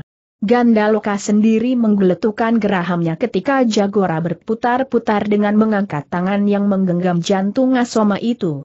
Jantung itu dilemparkan kepada para penonton, lalu mereka berebut untuk menyantapnya. Jahanam busuk geram Robulu. Matanya mulai merah karena marah, lah melihat Asoma diseret keluar dari arna, dan lantai dibersihkan dari bercak-bercak darah. Setelah itu terdengar kala retak sangar berseru sambil menuding Robulu. Kau, yang berbaju hitam itu. Seret dia ke arna Robulu. Biar aku yang menggantikan kamu kata Yoga. Jangan. Kita hadapi secara ksatria saja cegah Gandaloka.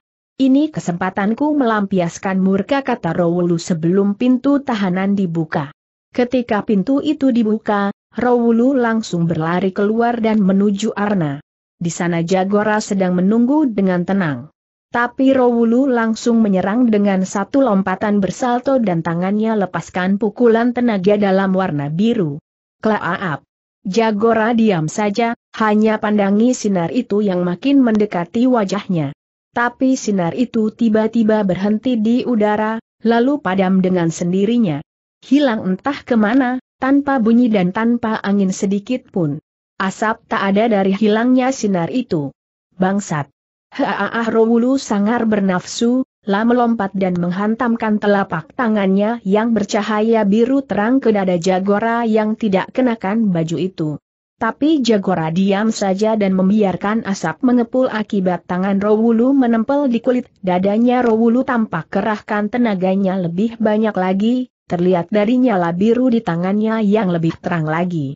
Celakanya okulan itu dianggap angin lalu oleh Jagora.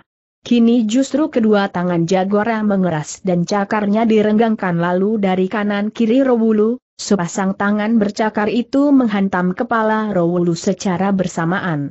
Kraaak. Ak-aak Rowulu jatuh berlutut dengan kepala rusak. Kejap berikutnya ia pun tumbang tak bernyawa. Dan sorak-sorai kembali memenuhi ruangan besar itu. Tawa kala ratak. Sangar terbahak bergelak-gelaklah tampak puas sekali melihat kehebatan prajurit pilihannya. Kini tinggal Gandaloka dan Yoga yang ada, di kamar tawanan. Kala rata sangar masih memilih siapa yang harus maju melawan Jagora lagi. Gandaloka dan Yoga pun sama-sama saling pandang, namun tak bicara apa-apa. Sikap Gandaloka terlihat lebih tegang ketimbang Yoga. Sampai akhirnya kala rata sangar perdengarkan suaranya. Hei, kau yang bertangan buntung, maju.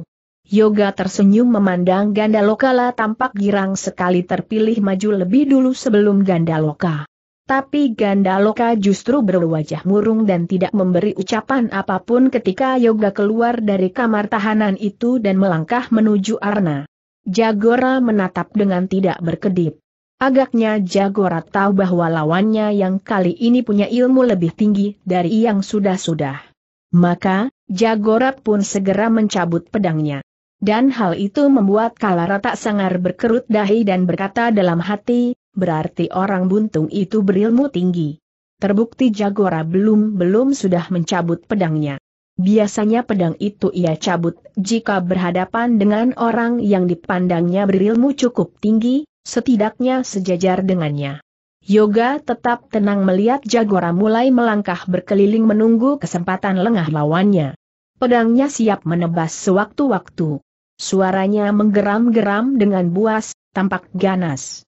Matanya pun berkesan liar dan sangat bernafsu untuk membunuh Yoga. Pendekar Raja Wali Merah tersenyum tipis, lalu pelan-pelan ia memegangi gagang pedangnya sambil ikut berputar di tempat karena lawannya berputar terus. Ketika pusaka pedang lidah guntur yang di ujung gagangnya terdapat ukiran dua kepala. Burung saling bertolak belakang itu akhirnya dicabut juga, gelegar suara petir di angkasa mengguncangkan bangunan tersebut, membuat Kalara tak sangar dan beberapa orang di situ menjadi tegang. Tak satu pun ada yang berucap kata, sehingga suasana menjadi hening. Semua mata tertuju pada pedang lidah guntur yang menyala merah dengan percikan-percikan bunga api mengelilingi pedang tersebut. Jagora berhenti bergerak, Yoga juga berhenti bergerak.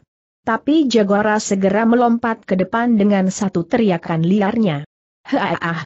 Klaap! Pendekar Raja Wali Merah mundur satu tindak dan menebaskan pedangnya ke samping. Tebasan itu menghadirkan loncatan sinar merah ke arah tubuh Jagora. Pedang Jagora ditembusnya dan patah, lalu sinar merah itu bagai pisau tajam menyabet leher Jagora dengan cepat. Dan Jagora diam di tempat tak bergerak. Masih berdiri dengan mata mendelik.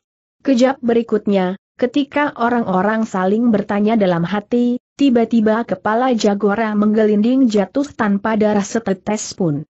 Orang-orang berseru kaget, hah tanda seru. Yoga memandang Kalara tak sangar dengan tersenyum. Yang dipandang hanya terbengong melompong.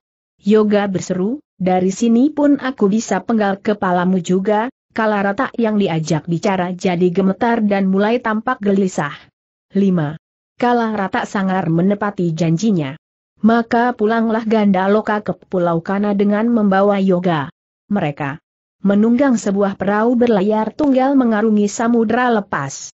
Gandaloka berwajah murung, bukan hanya karena kehilangan semua anak buah yang dibawanya, melainkan juga mengalami keterlambatan waktu.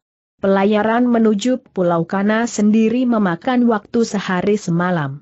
Ketika mereka tiba di Pulau Kana, keadaan sudah berbeda. Kembang mayat sedang dalam persiapan menjalani hukuman mati. Pendeta Ganes Hayar memimpin hukuman mati untuk kembang mayat. Perempuan itu meronta-ronta karena dijarat memakai tali urat naga yang tak bisa diputuskan oleh benda apa pun. Pelaksanaan hukuman mati itu dilakukan di alun-alun, supaya disaksikan dan diketahui oleh seluruh rakyat negeri Lingga Praja, bahwa orang yang dianggap penyebab kesialan rakyat negeri itu dihukum mati dengan cara digantung di atas tanah persembahan. Tanah persembahan ada di alun-alun, berupa tempat datar berumput, tapi dengan menggerakkan tiang bendera yang ada di tepi alun-alun itu, tanah tersebut akan terbuka, bagai merekah dan dipakai membuang mayat yang sudah digantung sedangkan tiang gantungan disiapkan di atas tanah yang nantinya akan terbuka merekah itu. Dengan terbuangnya mayat Oraruji yang digantung ke dalam tanah persembahan, maka rakyat Pulau Kana merasa sudah mempersembahkan korban bagi Seng Dewa, sehingga kutuk dan sial tidak akan menimpa rakyat negeri Linggapraja. Tetapi rakyat tetap berusaha mencari ratu atau raja baru yang bukan berasal dari pulau tersebut dan yang harus segera menikah. Sebenarnya, kalau saja kembang mayat mau menuruti saran pendeta Ganesha, maka ia tidak akan dijatuhi hukuman mati. Pendeta Ganesha sudah sarankan agar kembang mayat cepat lakukan pernikahan dengan salah satu pemuda Pulau Kana. Untuk selamatkan diri dari kutuk DJJJN hukum adat. Tetapi kembang mayat menolak, lah berkata, Aku tidak akan menikah jika bukan pendekar Raja Wali Merah calon suamiku. Aku harus menikah dengannya. Pendeta Ganesha berkata, pendekar Raja Wali Merah belum berhasil kita boyong kemari, Gusti Ratu. Sedangkan malam purnama tinggal sebentar lagi.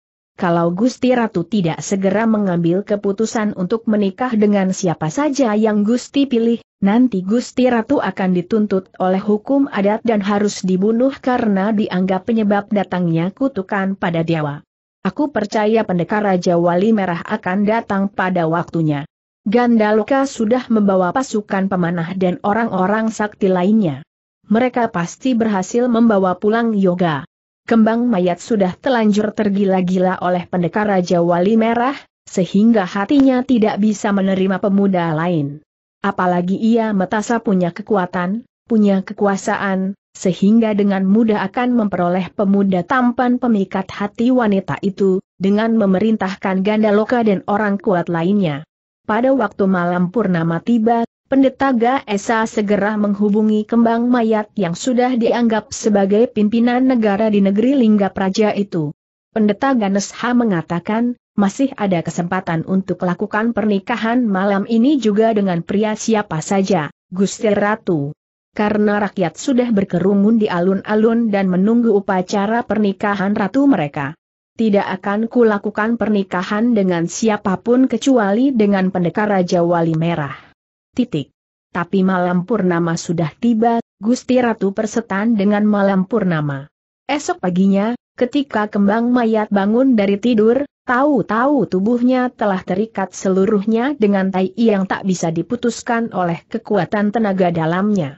Pendeta Ganesha telah masuk ke kamar peraduan ratu dan menjerat perempuan itu dengan taliat, keluar dari telapak tangannya dan melilit sendiri ke tubuh kembang mayat. Agaknya keputusan itu sudah mutlak harus dijalan sesuai adat yang berlaku. Kembang mayat berusaha meronta-ronta ketika dibawa ke alun-alun untuk digantung, namun usahanya itu sia-sia. Orang-orang bertubuh tinggi besar itu membawanya dengan kuat dan meletakkan tubuh ramping itu di atas tanah persembahan tali gantungan segera dikalungkan ke leher kembang mayat. Apabila tiang bendera didorong ke samping, maka tanah akan terbuka dan kaki kembang mayat akan tergantung. Maka akan matilah kembang mayat dalam keadaan terjerat lehernya. Lalu, tali itu nantinya akan diputuskan, dengan begitu tubuh kembang mayat akan jatuh ke dalam bongkahan tanah persembahan. Setelah itu tanah kembali akan ditutup rapat. Aku minta waktu teriak kembang mayat. Aku minta waktu sampai matahari mau tenggelam. Kalau ternyata pendekar Raja Wali Merah belum juga datang, maka gantunglah aku sesuai adat. Pendeta Ganesha berembuk dengan para tetua di Pulau Kana. Akhirnya mereka putuskan untuk tetap melaksanakan hukuman gantung itu. Pendeta Ganesha yang selalu memimpin upacara-upacara ritual itu berseru di depan rakyat yang berkumpul di alun-alun. Hari ini, manusia yang kita anggap calon ratu kita, ternyata manusia pembawa sial dan terkutuk. Terbukti, Cukup banyak orang-orang pilihan kita yang mati di pulau seberang hanya untuk memburu pemuda yang bernama Yoga, alias pendekar Raja Wali Merah. Belum lagi sekarang, Ganda Loka pergi dengan sejumlah pasukan tapi belum datang pula. Mungkin mereka sudah mati, atau mungkin mereka dalam kecelakaan besar. Yang jelas, itulah bukti bahwa kehadiran calon ratu kita ternyata pembawa kutuk dan pembawa sial. Sebab itu, ia harus dikorbankan. Gantung dia. Gantung dia. Kembalikan kesialan. Dan kutuk itu kepada para dewa seru mereka saling bersahut-sahutan. Dua orang sudah siap menarik tiang bendera yang merupakan sebagai kunci pembuka tanah persembahan tersebut. Kembang mayat berdebar-debar tak punya harapan lagi lah menangis dan menyesal, bahkan sempat berseru. Baiklah, Aku akan menikah dengan salah satu pemuda di sini. Pendeta Ganesha menyahut, sudah terlambat. Sudah lewat dari malam purnama.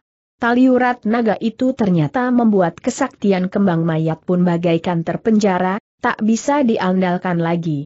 Berulang kali ia kerahkan tenaga dalamnya untuk memberontak, namun kekuatan itu bagaikan terpasung dan tak bisa digunakan lagi sorot matanya yang biasanya bisa keluarkan cahaya hijau, saat itu juga tidak mampu digunakan lagi. Seolah-olah semua ilmu dan kesaktiannya hilang setelah tubuhnya terjerat tali urat naga yang keluar dari telapak tangan pendeta Ganesha itu. Kembang mayat pun akhirnya pasrah dalam tangis penyesalannya. Bertepatan dengan akan dilaksanakan hukuman gantung itu, muncullah Ganda Loka dan pendekar Raja Wali Merah dalam satu lompatan yang bersamaan. Mereka tiba di dekat pendeta Ganesha yang sedang membakar tempat pedupaan berukuran besar, di depan tiang gantungan. Suara gemuruh para penonton di sekeliling alun-alun membuat kepala pendeta Ganesha yang tertunduk menjadi tegak memandang Gandaloka dan seorang pemuda tampan buntung tangan kirinya itu. Kembang mayat yang menangis dalam keadaan tertunduk pun segera angkat wajahnya dan terbelalak kaget melihat kehadiran Gandaloka dan Yogala segera berseru. Yo sambil berdebar-debar kegirangan. Yo tolong aku. Wanita cantik itu hanya dipandangi oleh pendekar Raja Wali Merah dengan dahi berkerut. Yoga tahu, wanita itu memang kembang mayat, tapi heran mengapa kembang mayat yang punya ilmu lumayan tingginya itu bisa ditaklukkan sampai digiring ke tiang gantungan? Pertolongan yang dimintanya pastilah pertolongan kesediaan Yoga untuk menjadi suaminya. Gandaloka bicara dengan pendeta Ganesha yang dikerumuni oleh para tetua dan pejabat istana lainnya. Rupanya mereka berunding setelah mendengarkan cerita Gandaloka tentang musibah badai di lautan itu. Musibah itu adalah kutuk dan sial yang ditimbulkan dari perempuan itu kata salah seorang tetua yang berjenggot panjang. Sedangkan sekarang sudah lewat dari malam purnama, sudah waktunya membuang dia kalau tak ingin lebih banyak lagi kematian yang menimpa rakyat kita. Gandaloka berkata, apakah tidak punya kebijakan satu kali lagi untuk memberi kesempatan kepada Sang Ratu? Bukankah? Sekarang masih termasuk hari purnama, hanya bedanya siang dan malam saja. Pendeta Ganesha segera mengambil sikap, apa salahnya kalau kita berbijak hati demi meluruskan garis kehidupan? Sebaiknya kita bicara dengan pendekar Raja Wali Merah. Pada waktu itu, pendekar Raja Wali Merah sedang bicara dengan kembang mayat. Perempuan cantik itu memohon-mohon agar dibebaskan dari hukuman gantung kepada Yoga, namun Yoga berkata, kau telah terjerat oleh hukum adat, kembang mayat. Kau juga terjerat oleh perasaanmu sendiri yang tak mau gunakan otak. Aku tak berani mencabut pedangku dan mengamuk di sini, karena aku tak punya permusuhan dengan mereka. Aku tak menyuruhmu mengamuk di sini, tapi aku hanya minta kesediaanmu menikah denganku, yo. Aku tak punya kesediaan untuk itu, kembang mayat. Maafkan aku. Hanya sebagai simbol saja. Siasat saja, yo. Beberapa waktu kemudian kau boleh menceraikan aku. Yoga diam berpikir dalam kegelisahan dan kebimbangan. Pada waktu itulah, pendeta Ganesha mendekat bersama Gandaloka. Yoga segera menundukkan kepala memberi hormat setelah Gandaloka memperkenalkan pendeta Ganesha kepadanya. Kemudian, pendeta Ganesha berseru ditujukan kepada mereka yang mengelilingi alun-alun. Rakyat negeri Lingga Praja yang tercinta, ternyata pendekar Raja Wali Merah telah hadir di sini bersama Gandaloka, Seng Perwira. Pendekar Raja Wali Merah inilah sebenarnya yang ditunggu-tunggu oleh calon ratu kita, untuk dijadikan mempelai pria dan suaminya.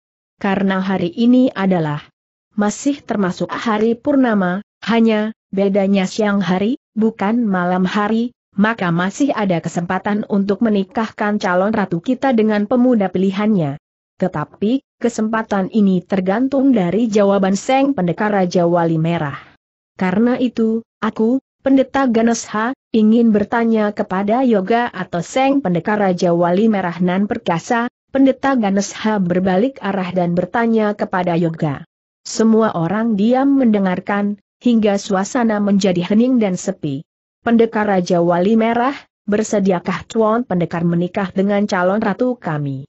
Sekalipun tampak tenang, namun sebenarnya di dalam hati Yoga mengalami kegundahan yang cukup besar matanya memandang pendeta Ganesha, lalu memandang Gandaloka, memandang kepada kembang mayat, menunduk, memandang lagi ke arah kembang mayat, dan saat itu kembang mayat berkata dengan suara gemetar serta air mata berlinang. Yo, tolonglah aku. Yoga masih diam dan alihkan pandangan mata kepada orang-orang yang memperhatikannya, lah tahu bahwa ia tak akan bisa meminta waktu untuk mempertimbangkannya beberapa hari. Karena itu, ia harus mempunyai keputusan saat itu juga dalam pertimbangannya untuk bersedia menikah dengan kembang mayat atau tidak. Jika tidak, maka kembang mayat akan mati di tiang gantungan, jika bersedia menikah, maka ia telah mengkhianati cintanya kepada Lili, si pendekar Raja Wali Putih. Padahal hati Yoga tidak ingin berkhianat seperti itulah sangat mencintai Lili dan ingin hidup berumah tangga sepanjang masa. Kalau ia menikah dengan kembang mayat, walau hanya siasat, toh itu berarti ia akan menjadi duda jika terjadi perceraian. Dan Lili berarti akan menikah dengan seorang duda, bekas suami orang. Oh, alangkah kasihan nasib Lili jadinya. Aku tak punya cinta kepada kembang mayat, Mengapa aku harus menipu pada diriku sendiri dengan bersedia kawin dengannya? Kalau aku menikah dan segera cerai, itu pun belum tentu bisa. Pasti kembang mayat tidak mau diceraikan, itu artinya aku terjerat dengan siasatku sendiri. Lalu, bagaimana dengan Lili? Oh, aku tak tega harus menyakiti hati guru angkatku itu. Aku sangat tak tega. Karena yoga diam terlalu lama, maka pendeta Ganesha pun mengulangi pertanyaannya tadi. Chuan pendekar, bersediakah Chuan menikah dengan calon ratu kami? Sukar sekali lidah yoga untuk digerakkan, lapaksakan diri dan akhirnya menjawab. Aku, tidak bersedia. WWWRRR. Suara gemuruh orang begitu banyak bagai jutaan lebah menggaung MT, menui alun-alun. Kembang mayat sendiri segera berteriak kuat-kuat. Jahat! Jahat kau, Yoga tangisnya kian menjadi. Yoga menundukkan kepala sambil berkata, maafkan aku. Ini menyangkut masa depan keturunanku. Mereka yang berkerumun saling berteriak bersahutan, gantung. Gantung dia. Peir sembahkan kepada para dewa. Gantung. Pendeta Ganesha kembali angkat tangannya dan semua menjadi diam. Di sela sepi itulah pendeta Ganesha berseru perempuan ini, ternyata memang harus kita persembahkan kepada para dewa dengan segala kutuk dan sial yang kita kembalikan. Tetapi seperti telah tertulis dalam kitab hukum adat, bahwa setiap korban persembahan mempunyai hak mengajukan satu permintaan terakhir sebelum dipersembahkan. Maka, aku pun akan ajukan pertanyaan kepada calon korban persembahan, pendeta Ganesha berpaling memandang kembang mayat dan bertanya, Kau punya permintaan apa? Sebutkanlah, kecuali permintaan pengampunan, kami tak bisa kabulkan. Dengan geram dan penuh nafsu kebencian, kembang mayat berkata, Ku minta pendekar Raja Wali Merah juga harus dihukum seperti aku. Karena dia telah membunuh beberapa utusan dari negeri ini, berarti telah menghina negeri ini juga. Jika dia tidak jalani hukuman seperti aku, maka akan kukutuk tanah pulau ini dan akan datang bencana setiap hari dari arwahku. Semua terperanjat mendengar ucapan kembang mayat. Pendeta Ganesha sendiri terbungkam mulutnya. Permintaan terakhir seorang korban persembahan harus dipenuhi. Begitu bunyi tertulis dalam kitab hukum adat. Jika tidak dipenuhi, maka malapetaka akan datang beruntun menimpa rakyat Pulau Kana. Pendeta Ganesha memandang ke arah Gandaloka. Yang dipandang sendiri tampak cemas dan gelisah. Sedangkan Yoga segera berkata kepada Gandaloka dengan suara pelan. Apakah permintaannya akan dikabulkan oleh adat? Gandaloka hanya menjawab, maaf, aku tidak bisa berbuat apa-apa dalam hal ini. Kembang mayat berseru dengan suara sampai serak, ingat, Yoga. Kau sama saja telah menggantungku dengan keputusan ini. Karena itu, kau pun akan kugantung dengan kesempatanku. Yang terakhir ini. Kita akan sama-sama mati di tiang gantungan. Pendeta Ganesha segera berseru kepada petugas di tiang bendera. Lakukan. Genderang berbunyi. Gemuruh suaranya. Tiang bendera ditarik miring oleh dua orang. Satu menari, satunya lagi mendorong. Lalu, terdengar suara gemuruh besar tanah merekah terbuka dalam guncangan bagaikan gempa kecil. Begitu tanah terbuka, maka kaki kembang mayat pun tergantung karena tak punya-punya tempat berpijak. Kembang mayat akhirnya mati dalam gantungan. Talinya segera diputus dan mayatnya jatuh ke dalam belahan tanah. Kemudian tanah persembahan tertutup lagi. Orang-orang yang berperawakan tinggi BSR itu masih belum beranjak pergi dari tempatnya. Padahal waktu itu pendeta Gadsha dari Piara Tetua sudah mau tinggalkan tempat. Rief Ciaria masyarakat Pulau Kanal Tu sedang menunggu pelaksanaan hukum afrek dan tung terhadap diri pendekar Raja Wali Merah, sesuai dengan permintaan korban tadi. Gandaloka mendekati pendeta Ganesha dan berkata pelan, mereka menunggu keputusanmu, Nirta. Dengan resah, Pendeta Ganesha yang berkepala gundul dan berbadan gemuk besar itu berkata, Aku tak bisa memberi keputusan sekarang. Aku perlu berunding dengan para tetua negeri ini. Untuk sementara, masukkan dulu pendekar Raja Wali Merah ke dalam penjara. Yoga mendengar ucapan itu, ia memandang Gandaloka dan Gandaloka serba salah dalam memandang, lah sangat gelisah menghadapi tugas tersebut. Akhirnya ia berkata kepada Yoga, apa yang harus kulakukan menurutmu? Kerjakan apa tugasmu? Kau seorang perwira, tunjukkan keperwiraanmu di depan rakyat. Napas panjang ditariknya dalam-dalam. Gandaloka tampak berat sekali jalankan tugas tersebut. Tapi akhirnya dengan terpaksa ia menuntun Yoga menuju ke penjara. Biasanya prajurit lain yang membawa tawanan, tapi kali ini Gandaloka sendiri yang lakukan, sebagai tanda menghormat kepada pendekar Raja Wali Merah. Sementara itu, petugas lain segera memberitahukan bahwa pendeta Ganesha dan para tetua butuh waktu tiga hari untuk berunding menentukan keputusan. Maka, setelah mendengar penjelasan tersebut, mereka pun segera bubar. Suara mereka saling bergaung kembali, masing-masing mempunyai pendapat dan saling berdebat sambil berjalan ke tempat tinggal mereka. Aku akan berusaha membelamu. Tapi aku butuh pelajari kembali semua kitab hukum adat kata Gandaloka kepada Yoga. Terima kasih atas niat baikmu, ucap Yoga sambil masuk ke kamar berjeruji besi, yaitu kamar penjara. Tapi perlu kau ketahui, kembang mayat bukan orang baik. Dia punya perguruan bernama Belalang Liar. Dulu semasa dipimpin oleh neneknya, Yai Sangkal Pati, perguruan itu dalam keadaan baik. Tapi setelah dipimpin olehnya, perguruan itu menjadi cenderung sesat. Kembang mayat orang licik, dia pantas menerima kematian seperti itu. Kalau negerimu menuruti permintaan kembang mayat, sama saja negerimu menuruti perintah orang sesat. Camkan penjelasanku ini, Gandaloka. Orang tinggi besar yang punya wajah tampan itu menganggukkan kepala dengan rasa prihatinnya, lah sendiri. Yang menutup pintu penjara dan menguncinya.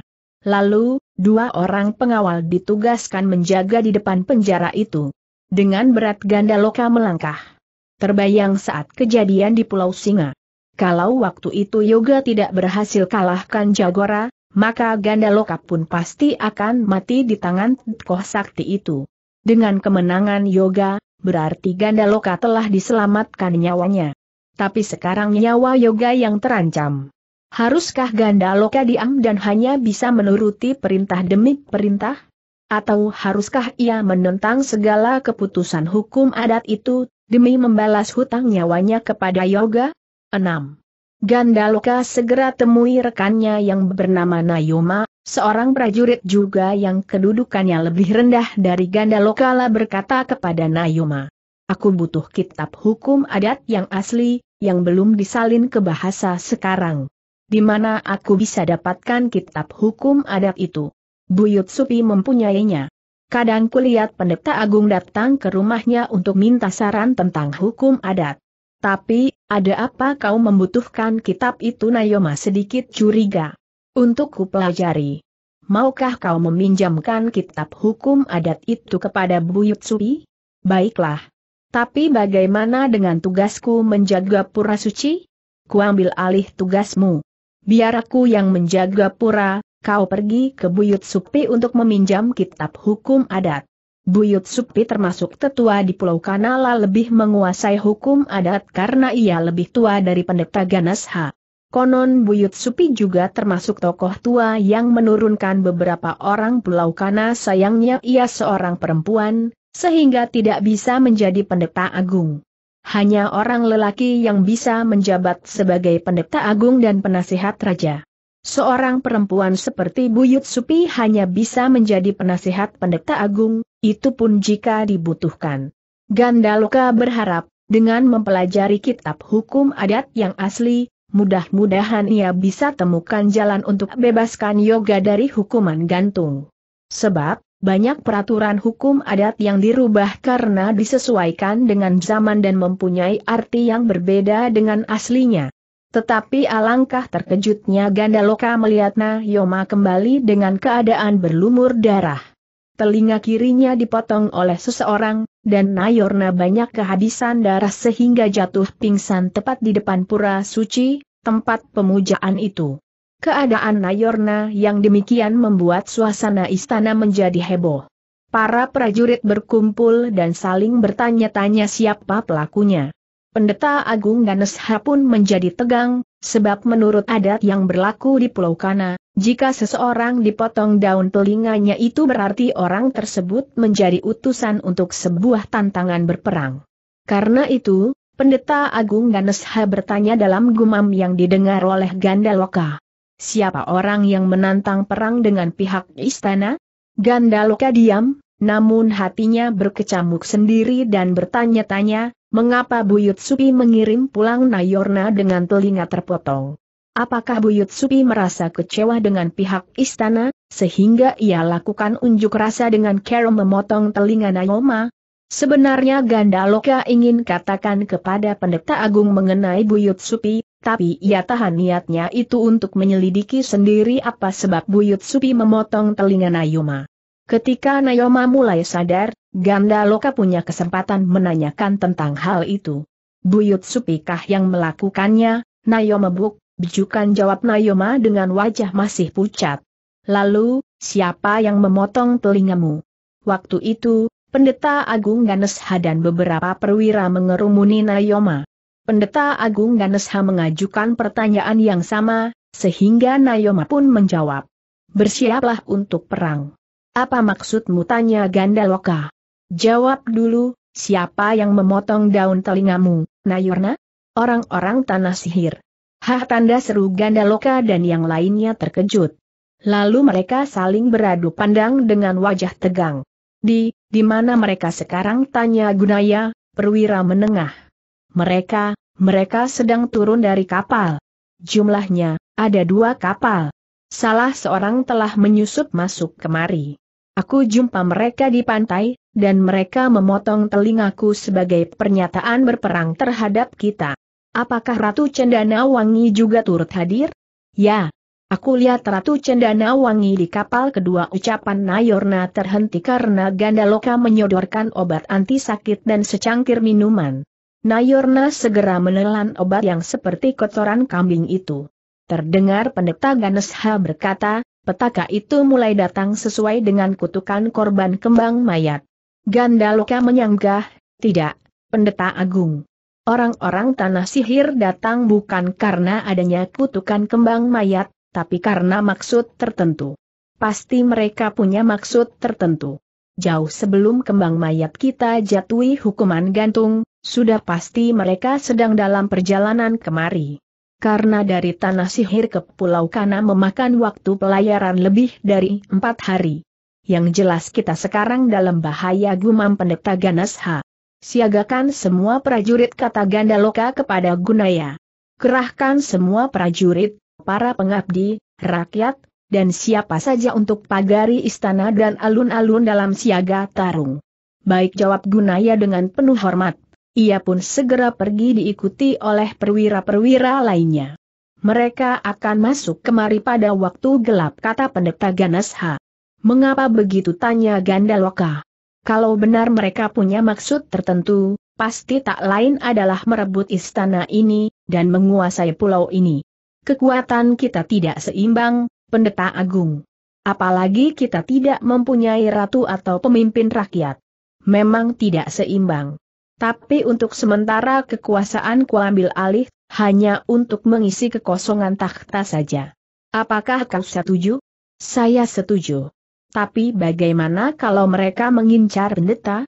Aku akan bertarung melawan mereka. Pendeta Agung tidak akan bisa kalahkan kekuatan Ratu Cendana Wangi yang berjuluk penguasa alam sihir. Ya, memang.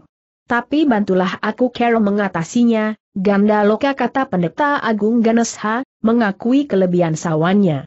Bagi orang-orang Pulau Kana, nama Ratu Cendana Wangi, si penguasa alam sihir itu, sudah bukan nama asing lagi. Nama itu selalu ditakuti oleh orang-orang Pulau Kana, karena mereka tahu persis kekuatan ilmu sihir Ratu Cendana Wangi sungguh tinggi. Beberapa tahun yang lalu, Ratu Cendana Wangi pernah mengirimkan tiga utusan ke Pulau Kana untuk memburu musuh mereka. Musuh itu ternyata menjadi raja di Pulau Kana. Raja itulah yang diincar oleh Ratu Cendana Wangi untuk dibunuh karena persoalan pribadi. Prajurit-prajurit istana mencoba menahan serangan tiga utusan itu, namun mereka gagal. Banyak orang Pulau Kana dan orang istana yang mati karena kekuatan ilmu sihir tiga utusan tersebut.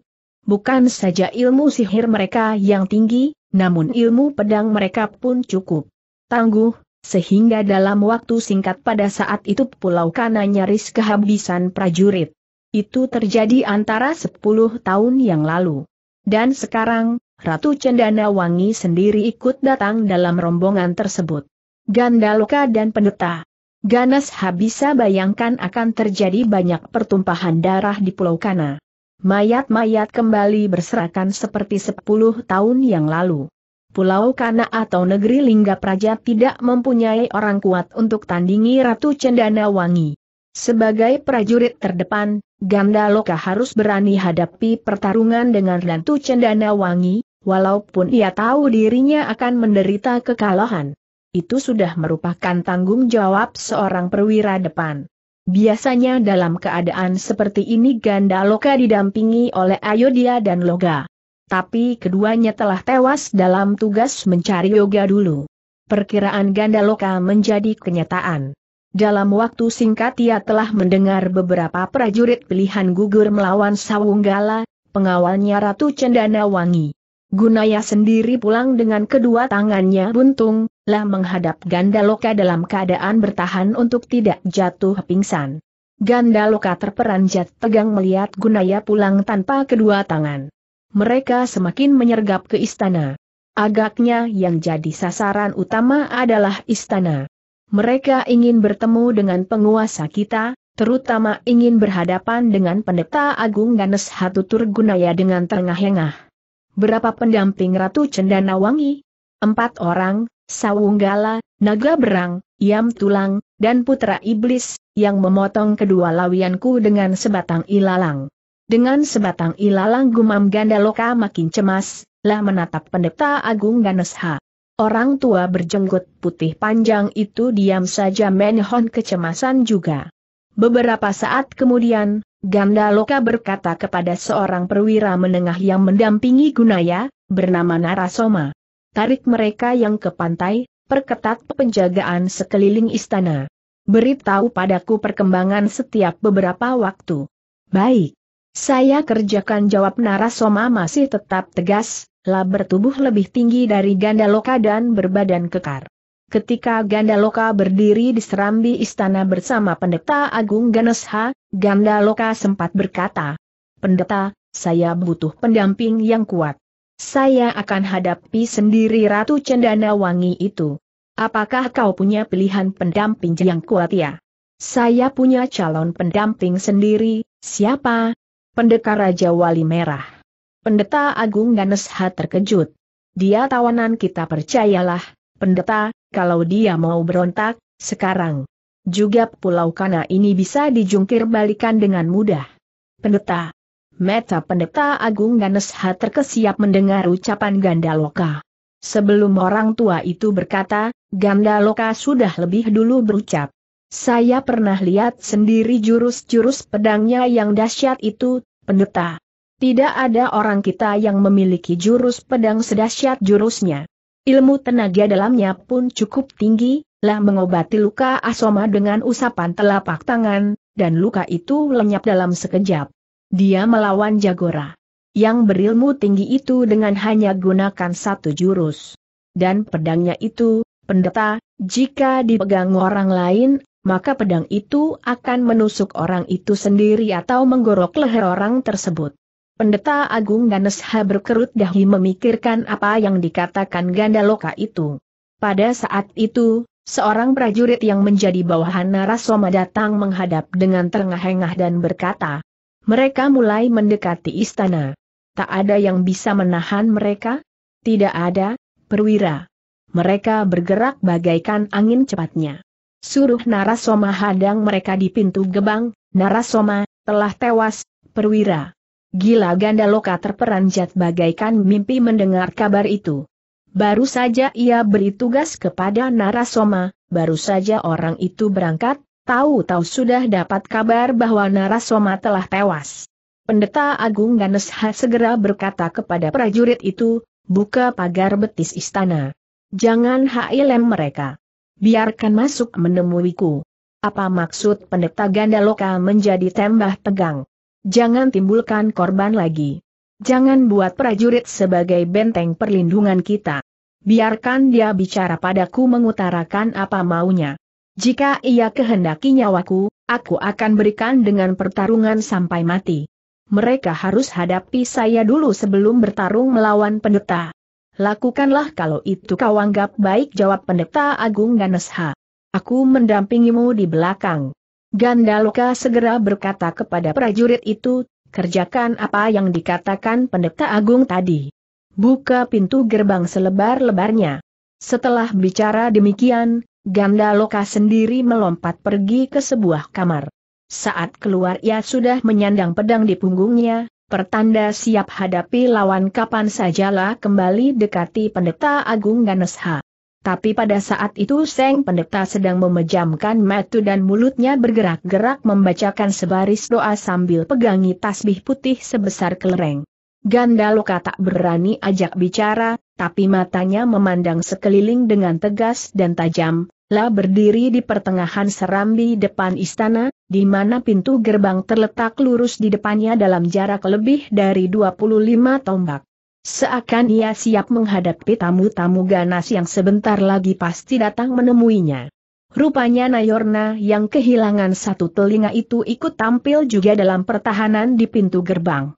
Ketika ia mendengar kabar tentang dibukanya pagar betis istana, Nayorna segera memerintahkan beberapa prajurit untuk mendampingi Gandaloka dan pendeta Ganasha.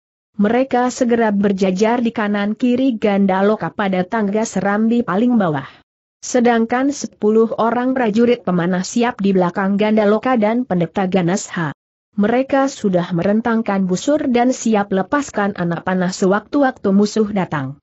Tetapi Gandaloka segera menengok ke belakang dan berkata kepada mereka, turunkan panah. Siaga saja maka mereka pun menurunkan panah. Tapi anak panah masih menempel di tali busur yang ada di bawah, dalam satu genggaman tangan mereka menunggu perintah untuk angkat panah masing-masing. Lalu, beberapa saat kemudian, tampaklah Ratu Cendana Wangi memasuki pintu gerbang istana dengan didampingi empat orang pengawal kuatnya di kanan kirinya. Dari kejauhan bau wangi cendana telah tercium oleh Gandaloka dan yang lainnya, sehingga mereka pun mulai bersiap siaga lakukan gerakan tiba-tiba. Sebenarnya perempuan itu sudah berusia sebaya dengan Buyut Supi. Tapi karena punya ilmu tinggi, ia bisa bertahan untuk tetap muda dan cantik, menggairahkan tiap lelaki, lah mengenakan pakaian hijau muda dengan perhiasan emas permata yang lengkap. Di rambutnya yang terurai lepas sepanjang punggung itu, mengenakan mahkota kecil setengah lingkaran dengan batu merah memancar berkilauan di bagian tengahnya. Ratu Cendana Wangi menggenggam sebatang tongkat dilapisi emas, yang mempunyai bagian kepala tongkat berupa bola baja berduri warna hitam. La dan keempat pengawalnya berhenti di pelataran istana. Matanya yang lebar namun berbentuk indah dalam kesan ganas itu, memandang Gandaloka tak berkedip. Sementara itu, keempat pengawalnya semua bermata dingin dan bertampang angker. Mana rajamu ucap Ratu Cendana Wangi dengan ketus dan tajam. Tidak ada jawab Gandaloka. Lalu, pendeta Ganesha menimpali. Akulah yang mewakili raja ataupun ratu di sini. Ratu Cendana Wangi tersenyum. Manis sekali senyumannya itu sebenarnya. Sangat memikat hati. Tapi karena Gandaloka tahu perempuan itu jahat, Gandaloka menjadi kurang tertarik dengan perempuan tersebut. Sekalipun ia dipandangi beberapa saat, tapi Gandaloka bagaikan tidak mau berikan senyum sedikit pun kepada Ratu Cendana Wangi. Kejap berikutnya, Ratu Cendana Wangi mendekati Gandaloka, keempat pengawalnya hanya melangkah tiga tindak lalu berhenti. Kini jarak Ratu Cendana Wangi dengan Gandaloka hanya dua langkah. Semakin lebar ia memandang Gandaloka dalam keadaan sedikit mendongak, karena Gandaloka bertubuh lebih tinggi darinya. Tampan sekali kau. Apa kedudukanmu di istana ini perwira istana jawab Gandaloka dengan tegas. Bagus sekali. Aku yakin usiamu masih muda, masih penuh semangat dalam beberapa hal. Dan aku yakin kau belum beristri juga belum punya kekasih, bahkan belum pernah tidur dengan perempuan. Kau masih hijau, perwira. Tapi kau akan menjadi matang jika sudah beberapa saat bersamaku senyum itu kian melebar. Siapa namamu? Gandaloka. Nama yang bagus, sesuai dengan paras wajahmu. Pendeta Ganesha menyahut, bicaralah padaku, Cendana Wangi. Akulah wakil penguasa tanah ini. Kau tidak berhak mengaturku, botak bentak Ratu Cendana Wangi. Matanya mendelik menampakkan keganasannya. Salah seorang prajurit merasa tersinggung, pendeta yang dihormati selama ini hanya dibentak-bentak oleh orang asing. Prajurit itu segera melemparkan tombak ke arah Ratu Cendana Wangi. Tetapi tombak itu tiba-tiba berhenti di pertengahan jarak, lalu berbalik arah dan melesat dengan cepat menghujam dada orang yang melemparkannya. Jeruk. Gandaloka menahan diri untuk tidak lepaskan amarah sembarangan. Sekalipun dia sakit hati melihat anak buahnya yang keroco dibunuh dengan kekuatan sihir, tapi ia berusaha untuk tetap tenang. Karena pendeta Agung Ganesha pun kelihatan tetap tenang walau dibentak dan dihina dengan sebutan botak tadi. Apa tujuanmu kemari sebenarnya, Cendana Wangi? Beginikah caramu menerima tamu? Membiarkan tamu di luar tanpa menyuruhnya masuk hardik Ratu Cendana Wangi sambil dekati pendeta Ganasha. Sebelum kami tahu maksud dan tujuanmu membuat keonaran di wilayah kami, kami tidak izinkan kau masuk ke istana. Katakan dulu apa yang kau harapkan dari kedatanganmu, nanti kami akan bicarakan di dalam. Seharusnya aku yang mengaturmu. Bukan kau yang mengatur aku. Karena akulah yang berhak memiliki pulau Kana ini. Akulah yang berhak berkuasa atas pulau ini. Dari mana alasanmu bisa berkata begitu? Aku keturunan dari Eyang Dewi Ambar Ayu. Beliau adalah orang pertama yang mendiami pulau ini sendirian, karena dibuang oleh pihak keluarganya, yaitu Raja Johor. Lalu beliau beranak cucu di sini, dan sampai melahirkan diriku sebagai keturunan yang kesekian silsilah. Jadi akulah yang berhak menjadi penguasa di Pulau Kana. Jika kau keturunan nenek moyang Pulau Kana, pasti tubuhmu sebesar kami, cendana wangi. Ternyata tubuhmu kecil, seperti manusia biasa. Kurasa kau hanya mengaku aku saja sebagai keturunan nenek moyang Pulau Kana. Perkawinan silang memungkinkan aku berketurunan seperti ini tapi kakek buyutku adalah orang tinggi besar seperti kalian. Baiklah, pendeta Ganesha sedikit mengalah. Jadi, itu persoalannya? Kau menuntut hak untuk menjadi penguasa di Pulau Kana ini? Bukan hanya itu saja. Yang paling utama aku datang kemari adalah untuk mengambil sebuah kitab pusaka warisan nenek moyangku. Akulah yang berhak menerima kitab pusaka tersebut. Kitab pusaka apa pendeta Ganesha berkerut dai? Kitab Jagat Sakti jawab Ratu Cendana Wangi. Gandaloka dan pendeta Ganesha saling pandang dengan dahi berkerut. Mereka sepertinya merasa asing mendengar nama kitab tersebut. Lalu, pendeta Ganesha berkata, di sini tidak ada kitab Jagat Sakti. Aku bahkan baru sekarang mendengar ada kitab seperti itu. Omong kosong kau, pendeta Ganesha. Bukankah letak sumur perut setan ada di Pulau Kana ini? Pasti kitab itu pun ada di sini. Sekali lagi Gandaloka dan pendeta Ganesha saling beradu pandang dengan dahi berkerut. Lalu, Gandaloka menyahut kata. Sumur perut setan hanya ada dalam dongeng. Ya, karena kau masih hijau, jadi kau masih terngiang dongeng-dongeng dari ibumu, nak. Tapi sebenarnya Ganes Ha pasti tahu, bahwa sumur perut setan itu ada di sini. Aku tidak tahu. Aku juga anggap itu hanya dongeng belaka. Omong kosong. Kau pasti tahu di mana letaknya sumur perut setan itu. Jika kau tak mau sebutkan letaknya, jika kau tak mau biarkan aku mengambil kitab Ju Jat Sakti, dan jika kau tak mau serahkan pulau ini ke tanganku, akan kubuat rakyatmu seperti ini. Tanda petik. Klaap. Seberkas sinar putih menyebar dari tangan Ratu Cendana Wangi. Sinar itu menerpa para prajurit yang ada di alun-alun, dan mereka berubah menjadi patung batu semua. 7. Memang para orang tua sering mendongeng tentang kisah sumur perut setan. Tetapi sumur itu sendiri sebenarnya memang ada. Letaknya di kaki Bukit Seroja, dekat dengan Candi Langu. Dan pada saat itu, dua anak manusia terperosok masuk ke dalamnya. Mereka adalah Lili, pendekar Raja Wali Putih itu, dan Wisnu Patra yang juga dijuluki Dewa Tampan, baka episode, mempelai liang kubur.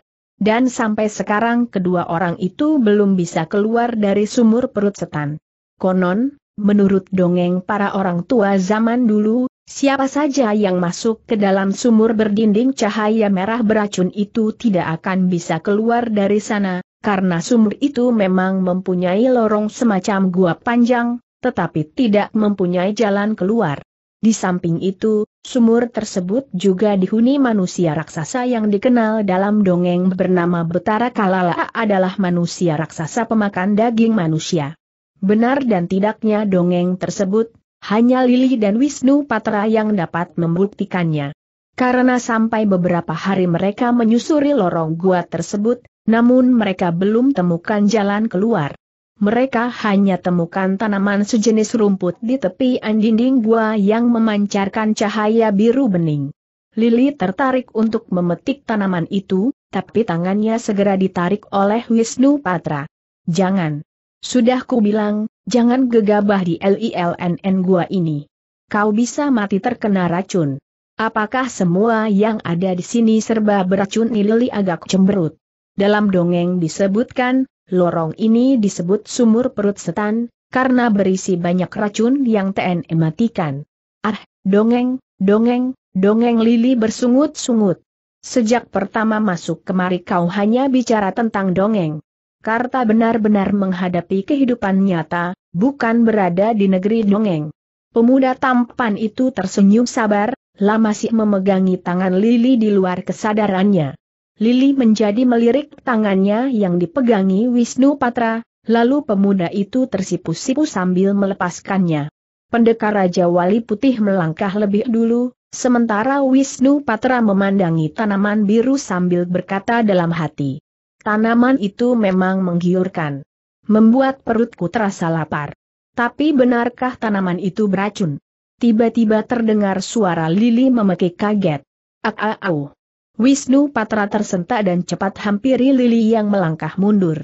Rupanya gadis yang cantiknya melebihi bidadari dan mengenakan pakaian merah jambu itu melihat seekor kelelawar berukuran besar sedang hinggap di dinding bercahaya merah itu.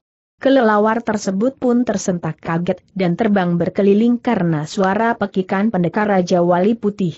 Awas!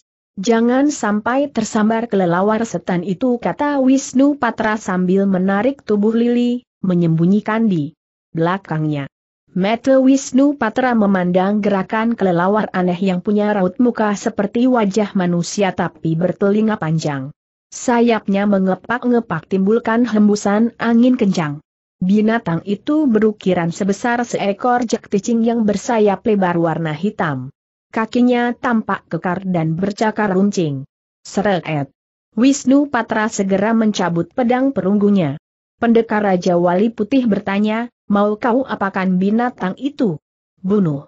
Kalau tidak dia akan membunuh kita dari belakang, dia tidak menyerang kita. Dia tampak ganas, tapi tak berani berhadap-hadapan dengan kita. Dia pasti menunggu kesempatan menyerang pada saat kita lengah. Kiaa. Kiaa. Kelelawar aneh itu seakan mendengar ucapan Wisnu Patra. Maka, serta-merta ia menyerang dengan gerakan cepat. Matanya yang mirip mata bayi itu memancarkan sinar merah membara yang hampir mengenai kepala Wisnu Patra dan Lili. Untung keduanya sigap dan lekas tundukkan kepala. Sinar merah dari mata kelelawar itu menghantam dinding gua, dan dinding tersebut segera berguguran dengan timbulkan suara ledakan kecil. Daar. Wuut. Pedang perunggu itu pun berkelebat menebas bagian atas, karena kelelawar itu melintas di u kepala Wisnu Patra. Tebasan itu meleset. Kelelawar tersebut bagaikan pandai menghindar, dan ia terbang ke belakang mereka berdua V. Hati-hati dia bukan kelelawar sembarangan ucap Lili dengan segera berbalik badan. Pada saat itu, ternyata kelelawar tersebut sudah berbalik arah dan kini se, dan menuju ke arah Lili. Wisnu Patra segera berteriak. Jongkok.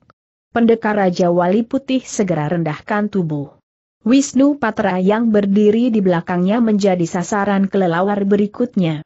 Tetapi, ia sudah siap dengan pedangnya, sehingga begitu kelelawar tersebut melesat di depannya, Wisnu Patra tebaskan pedang dengan gerakan cepat. Wuut. Kraas titik. Kiyaak. Kelelawar itu memekik lengking, suaranya menggema, lah jatuh ke tanah dalam keadaan terpotong menjadi dua bagian. Sayapnya yang kiri ikut bagian kepala satu, yang kanan ikut bagian tubuh. Kelelawar itu masih belum pejamkan mata dan berusaha untuk bergerak terbang. Klaap. Pendekar Raja Wali Putih lepaskan pukulan sinar putih peraknya dan menghantam kepala kelelawar tersebut. Praas. Kepala binatang aneh itu pun pecah dan tak berkutik lagi. Menurut dongeng, ada berapa ekor kelelawar seperti itu di sini tanya Lili dengan menyindir. Wisnu Patra hanya menghempaskan napas. Kita jalan lagi. Jangan hiraukan kelelawar itu. Kenapa kau tak menjawab pertanyaanku Lili berlari menyusul Wisnu Patra yang melangkah lebih dulu.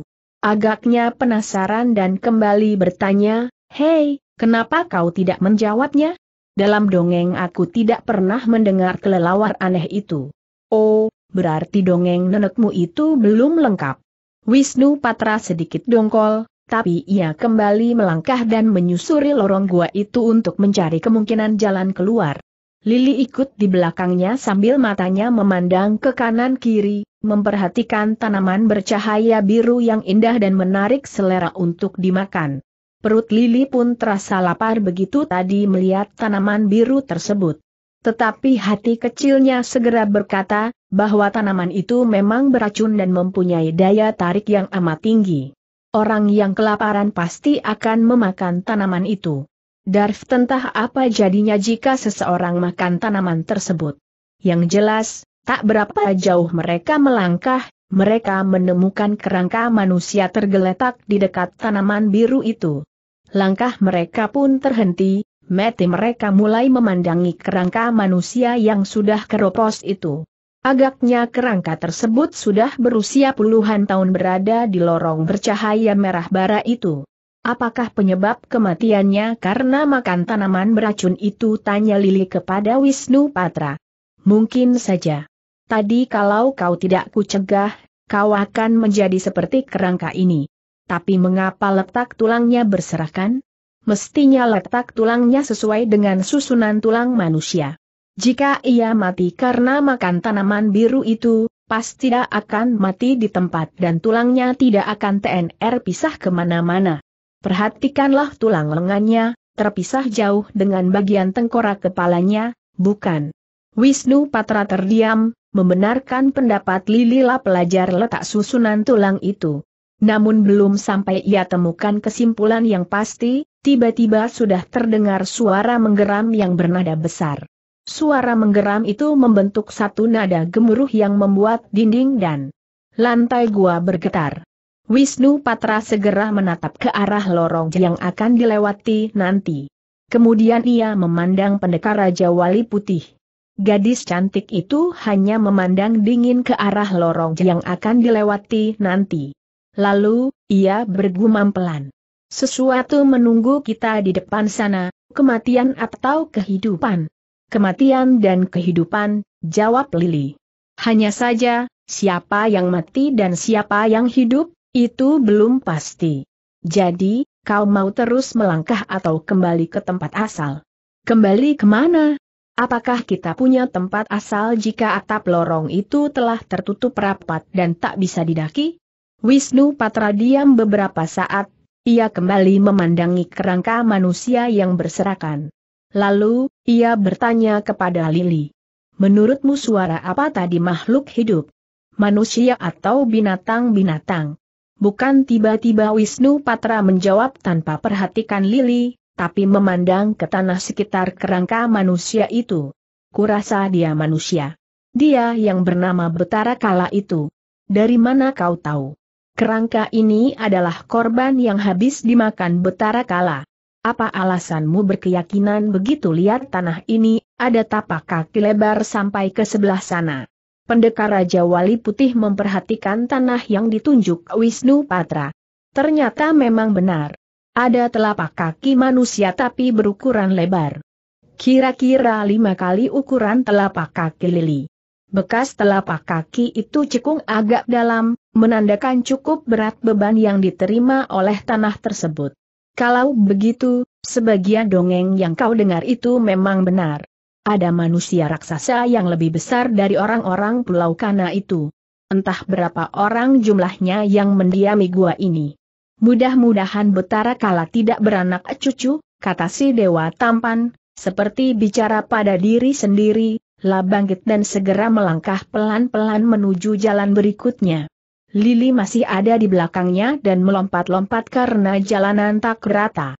Suara gemuruh itu makin lama makin jelas terdengar, bertambah jauh melangkah bertambah nyata gerakan tanah yang bergetar.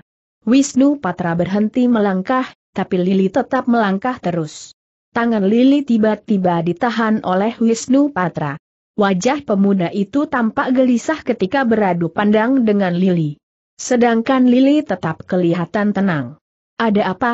Kita mendekati pusat kehidupan Betara Kala, bisik Wisnu Patra. Kita memang sedang mencarinya, bukan? Ah, kau gila, Lili. Dia itu lebih berbahaya dari seribu orang-orang Pulau Kana. Buatku orang Pulau Kana tidak ada yang berbahaya kata pendekar Raja Wali Putih. Kita jalan lagi. Kita hadapi dia kalau memang dia tidak bisa dijinakan dengan kata-kata. Mungkin kita memang terpaksa menjinakkan dia dengan pedang. Lili langsung melangkah kembali.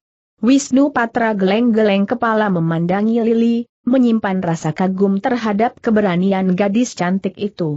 Maka, Wisnu Patra pun segera bergegas menyusul Lili, sebab ia merasa sayang kalau sampai gadis cantik berkulit putih itu terluka atau tergores kulitnya oleh sesuatu hal apa pun bentuknya, lah tak ingin Lili celaka, namun lah merasa cemas membayangkan dongeng tentang keganasan Betara Kala. GGGRRR terdengar suara mengerang besar dan menggema. Tanah kembali berguncang. Wisnu Patra segera tahan pundak Lili. Dia telah mencium bau kita bisik Wisnu Patra. Mungkin dia mencium kepucatan wajahmu, kata pendekar Raja Wali Putih sambil tersenyum.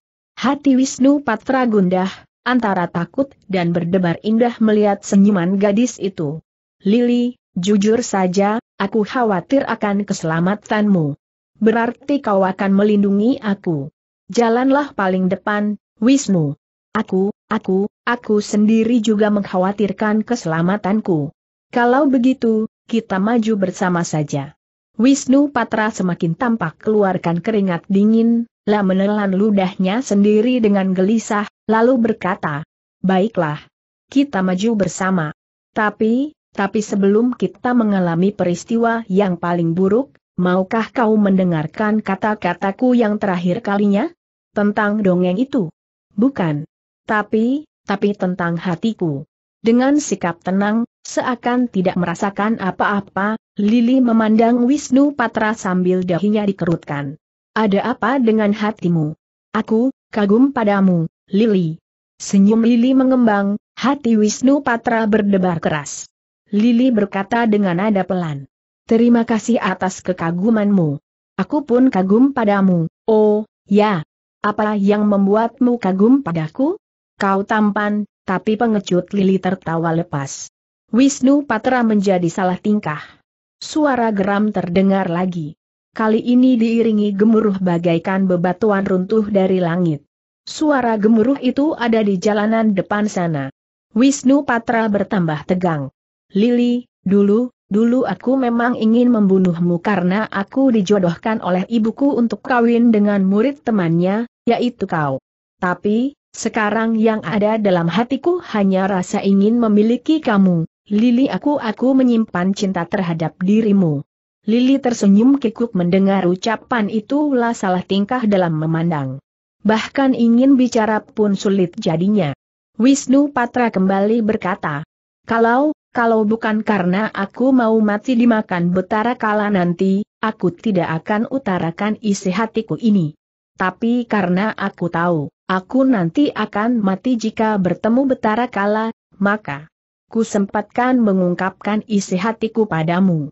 Aku tak butuh jawabanmu, aku hanya butuh agar kau mau percaya dengan kata-kataku tadi. Aku percaya, jawab Lili. Tapi, percayalah, kau tak akan mati di tangan Betara Kala, Wisnu ucapan Lili kali ini begitu lembut, seakan sangat menyentuh hati Wisnu Patra. Mengapa kau yakin aku tak akan mati? Karena tak kuizinkan manusia raksasa itu menyentuh kulitmu, Wisnu. Sedikit pun tak akan kuizinkan. Mengapa begitu pancing Wisnu Patra? Karena, Lili diam sebentar, menatap Wisnu Patra, kemudian menunduk, berpikir sebentar, lalu memandang Wisnu Patra lagi dan menjawab dengan suara lembut. Karena kau adalah sahabatku. Hanya sebatas sahabatku rasa begitu, tidakkah, tidakkah kau mencintaiku, Lili? Seseorang telah memiliki hatiku, dan seseorang telah mengisi hatiku juga. Siapa orang itu muridku sendiri? Yoga. Rona kecewa terbentang jelas di wajah Wisnu Patrala mengangguk-angguk sambil menarik napas. Lili tahu, Wisnu Patra sembunyikan rasa kecewanya. Sebab itu, Lili berkata, jangan buru-buru kecewa. Jodoh ada di tangan yang maha kuasa. Manusia hanya boleh merencanakan dan mengidam-idamkan saja. Wajah kecewa itu segera pudar dan berganti sinar semangat yang mulia membias, Sambil Wisnu Patra perdengarkan suaranya. Ya, benar. Jodoh ada di tangan yang maha kuasa. Mari kita teruskan langkah kita. Mereka kembali melangkah. Jalanan terasa semakin lebar dengan dinding masih memancarkan cahaya merah bara. Atap lorong itu bertambah tinggi hingga tiap gerakan kaki mereka terdengar menggema lirih. Udaranya pun semakin sejuk, dan bau amis mulai tercium. GGRRR suara erangan besar terdengar. Pada waktu itu mereka hampir tiba di tikungan jalan lorong. Langkah mereka terhenti sejenak. Tangan Wisnu Patra semakin erat menggenggam tangan Lili. Gadis cantik itu membiarkannya, walau ia rasakan betul tangan pemuda tampan itu dingin sekali. Seperti balok es yang belum mencair. Lili mengangguk, itu pertanda ia mengajak teruskan langkah. Wisnu Patra pun akhirnya melangkah kembali sampai mereka membelok di jalanan menikung itu. Ternyata di balik tikungan jalan tersebut, ada ruangan yang amat luas beratap tinggi, lebar sekali dalam keadaan memanjang lurus. Tanahnya datar dan di sana banyak tulang belulang manusia. Tulang-tulang itu berserakan CLL sana-sini. Mereka mengikuti serakan tulang tersebut, ternyata sampai jauh sepanjang ruangan yang lebar dan luas itu. Tiba-tiba Wisnu Patra menahan gerakan langkah Lili. Gadis itu pun berhenti dengan mata memandang ke depan. Wajah Wisnu Patra sangat tegang, sementara Lili hanya bersikap penuh waspada, lah minta dilepaskan genggaman tangannya, lah berbisik lirih. Gundukan yang ada di depan sana itu bukan seperti tanah biasa. Wisnu Patra menjawab, benar. Itulah sebabnya ku tahan langkahmu. Gundukan itu adalah punggung manusia raksasa. Betara kalakah dia? Pasti. Tapi agaknya ia sedang tertidur. Atau mungkin hanya rebahan saja. Lihat tulang-tulang di sekitarnya. Itulah sisa makanan betara kala. Mungkin kita nanti akan menjadi satu dengan tulang-tulang itu. Mungkin iya, mungkin tidak. Yang jelas, aku tidak ingin menjadi mangsanya, setelah berkata begitu, Lili melangkah maju sendirian. Hei, mau ke mana kau Wisnu Patra berseru tapi suaranya membisik.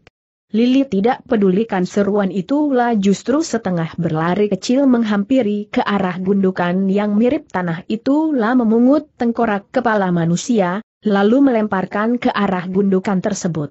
Praaak. Tengkorak kepala manusia itu jatuh di tumpukan tulang. Wisnu Patra terbelalak kaget melihat tindakan Lili lah berkata dalam suara gumam gemetar. Gila gadis itu. Dia malahan membangunkan raksasa yang sedang tidur. Cari mampus saja itu orang. Praaak. Suara itu terdengar lagi, dan kali ini geram suara makhluk besar terdengar. Keras dan menggema besar, menggetarkan dinding dan lantai ruangan tersebut. Bluuh. Rupanya raksasa besar itu berbalik arah, semula memunggungi Lili, sekarang menghadap ke arah Lili. Tetapi, Gadis itu memang punya keberanian yang luar biasa, lah justru berteriak keras. Hoaaii. GGGRRR. Makhluk besar itu pun akhirnya bangkit. Matanya yang besar membuka lebar, lah berdiri dan membuat beberapa dinding bergetar keras. Wajahnya kelihatan amat menyeramkan. Mulutnya lebar, lubang hidungnya pun lebar, lah tidak mempunyai rambut kulit tubuhnya seperti tanah cadas. Ketika ia menyeringai karena melihat kehadiran manusia, giginya tampak sebesar matu kapak. Tubuhnya yang tinggi itu membuat Lili memandang dengan wajah tengadah. Lalu, Lili pun melihat kedua tangan besar bergerak diangkat ke atas, dan raksasa yang bernama Betara Kala itu mulai melangkah mendekati Lili. Jelek, jelek, jelek, gua itu bagai mau runtuh karena guncangannya cukup keras. Wisnu Patra menjadi lemas. Mau berteriak pun tak mampu. Napasnya terasa sesak karena dadanya bagai ikut bergetar terhentak-hentak ketika kaki. Betara kala itu melangkah. Saat orang besar itu berhenti, terdengar suaranya berkata dengan nada besar pula. HHRRR, berani betul kau mengganggu istirahatku. Bocah hayu. Apa maumu, hah tanda seru. Dengan lantang Lili berkata, aku terperosok ke sumur perut setan ini. Aku ingin keluar dari sini. Wah, ha, ha, ha, ha. Uli terpental ketika Betara Kala tertawa, lah berguling-guling sampai di dekat Wisnu Patra yang tak mampu lagi untuk berdiri itu. Pada waktu itu, Wisnu Patra mendekap telinganya sambil mendekam di dekat gundukan tulang manusia. Wajahnya pucat pasi dan berkeringat, lah ingin membantu Lili untuk bangkit, tapi ia sendiri tak mampu gerakan kaki dan tangannya, lah hanya bisa pejamkan mata sesaat ketika Lili terpelanting jatuh di dekatnya, akibat limbung dalam berdirinya. Kalau aku tahu jalan keluarnya aku pasti sudah keluar dari sini, bocah ayu terdengar suara betara kala menggema lagi. Lili menegakkan berdirinya dan maju lebih dekat lagi lah berseru. Kau pasti tahu. Kau tidak mau keluar dari tempat ini, karena kau takut mati dibunuh musuhmu, entah siapa. Aku tahu, kau di sini bersembunyi karena takut mati, atau karena menunggu kematianmu tiba. Wah, hah, hah, hah, hah. Pendekar Raja Wali Putih kembali berjumpalitan lagi. Tawa itu selain hadirkan angin kencang juga keluarkan getaran gelombang yang menghentak bagai ingin menjebol dada. Pendekar Raja Wali Putih hampir saja menyentuh dinding yang bercahaya merah bara itu lah buru-buru berguling menjauh. Kemudian dia tarik napasnya dalam-dalam dan pejamkan mata sebentar dengan sikap satu kaki berlutut yang satunya menapak di tanah. Tangannya bergerak ke samping dan meliuk sebentar di depan wajah, kemudian ia pun segera bangkit berdiri dan melangkah di tempatnya tadi. Bocah Hayu. Kau memaksaku untuk marah padamu, hah tanda seru. Kukatakan di sini tidak ada jalan keluar, tapi kau tidak percaya. Aku bisa mempercepat kematianmu kalau kau tidak segera tunjukkan padaku di mana jalan menuju keluar dari tempat ini. GGRRR Betara Kala mengerang dengan metode dilebarkan.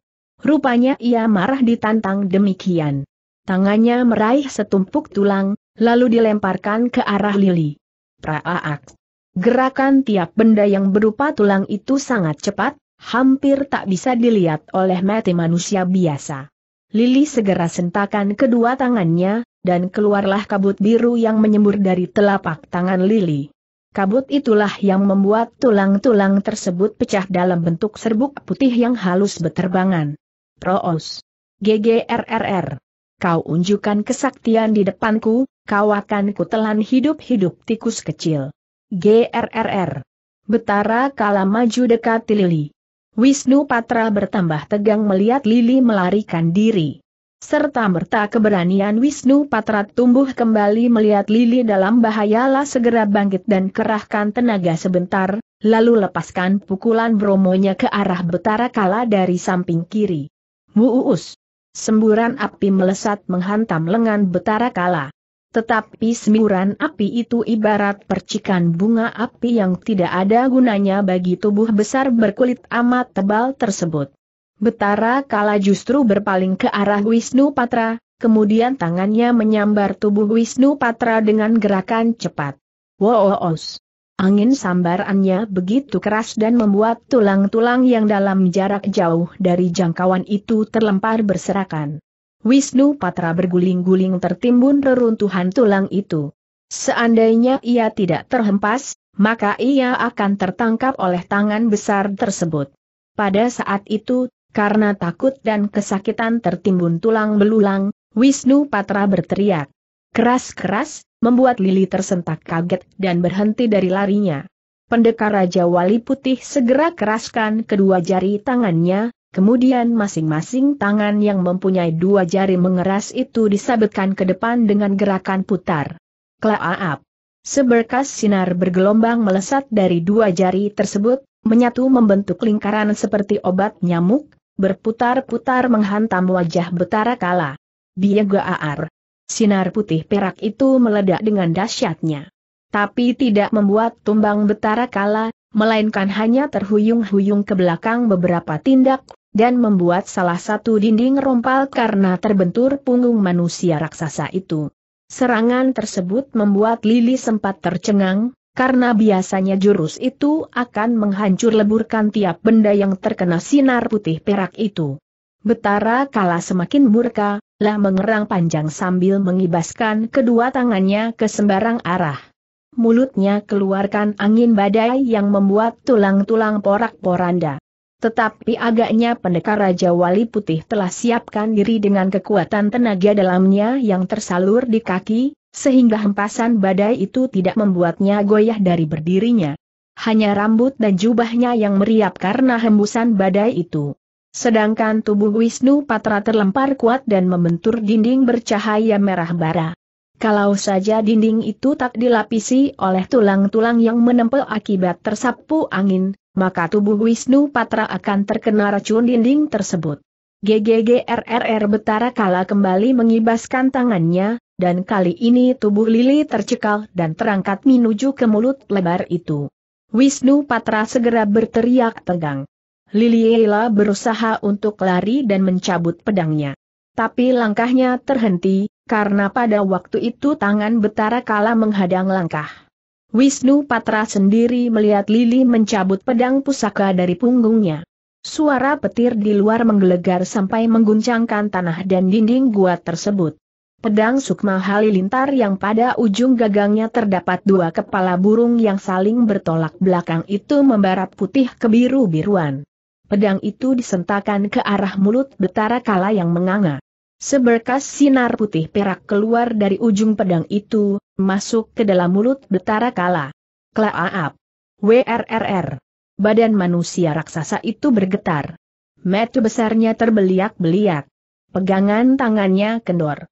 Tubuh pendekar Raja Wali Putih jatuh melayang-layang dan berusaha kendalikan keseimbangan, hingga gadis itu bersalto satu kali, lalu dalam gerakan tubuh turun itu, ia tebaskan pedangnya ke perut betara kala. Broos. Perut itu robek dengan keluarkan sentakan angin keras yang membuat tubuh Lili terpental ke depan. Untung ia cepat bersalto dan mampu mendarat dengan sigap. Tepat kaki pendekar Raja Wali Putih menapak di tanah, tubuh betara kala itu meledak karena sinar putih keperakan yang masuk ke mulut itu. Apostrof. Blegaar.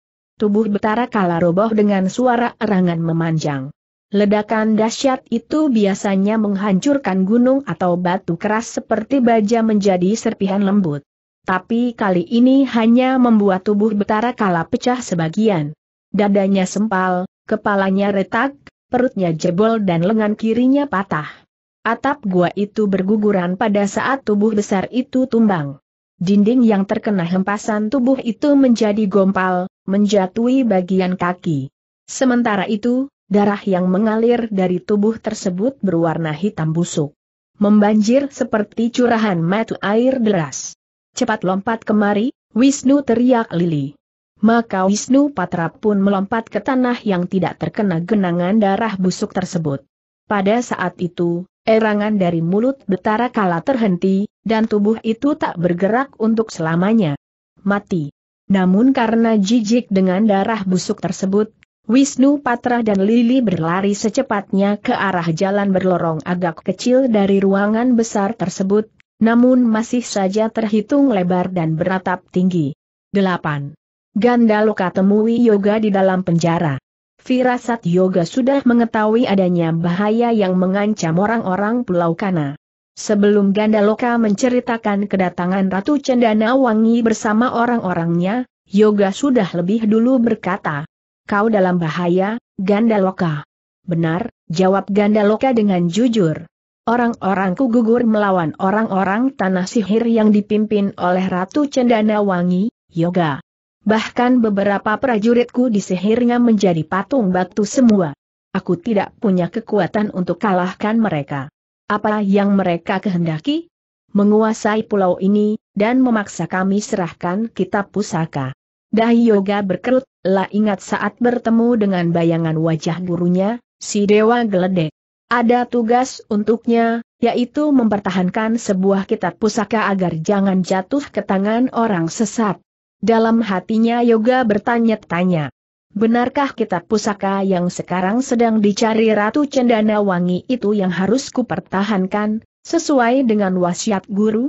Gandaloka berkata, padahal kami tidak tahu tentang kitab pusaka itu. Mendengar namanya saja baru sekarang.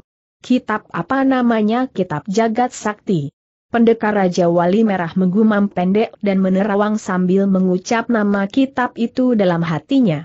Kemudian, ia bertanya, apakah benar pihakmu tidak tahu menahu tentang kitab Jagat Sakti? Sama sekali tidak. Di dalam bangsal pustaka itu banyak kitab, tapi tidakkah ada yang namanya kitab jagat sakti? Pendeta Agung sendiri merasa asing dengan nama kitab itu. Katanya, dari sejak kecil sampai setua itu ia belum pernah mendengar nama kitab tersebut, apalagi melihatnya, sama sekali tidak pernah. Lalu, menurut Ratu Cendana Wangi, di mana letak kitab itu adanya? Jawaban mereka tidak masuk akal. Mereka bilang kitab itu ada di sumur perut setan. Sedangkan nama sumur perut setan hanya ada di dalam dongeng. Tapi mereka mendesak kami untuk menunjukkan letak sumur tersebut.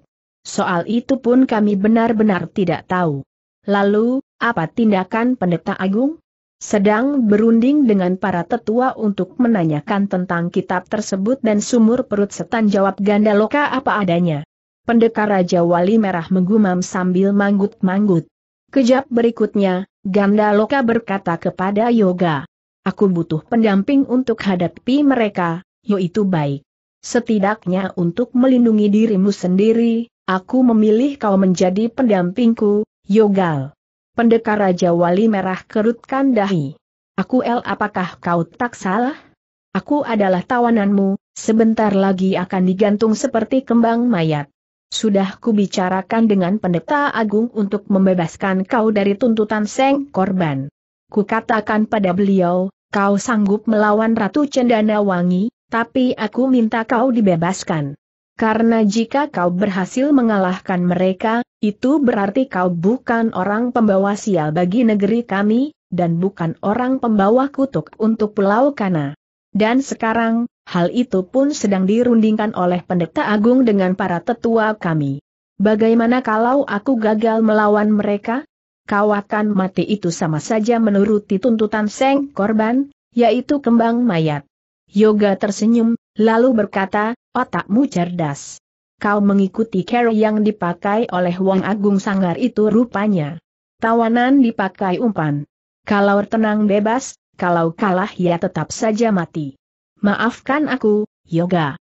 Tidak ada cara lain yang ku peroleh untuk membebaskanmu, kecuali dengan cara begitu. Baiklah. Temukan aku dengan pendeta agung dan para tetuamu.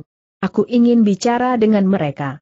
Rupanya pihak Ratu Cendana Wangi telah kuasai istana.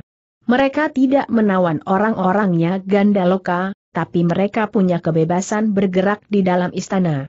Pendeta Agung terpaksa membiarkan hal itu terjadi semasa tidak membawa korban lagi. Pada saat Yoga dibawa keluar dari penjara oleh Gandaloka, mereka bertemu dengan Naga Berang dan Garutulang yang ingin menengok Taman Keputren, tempat para putri raja bersantai di sana.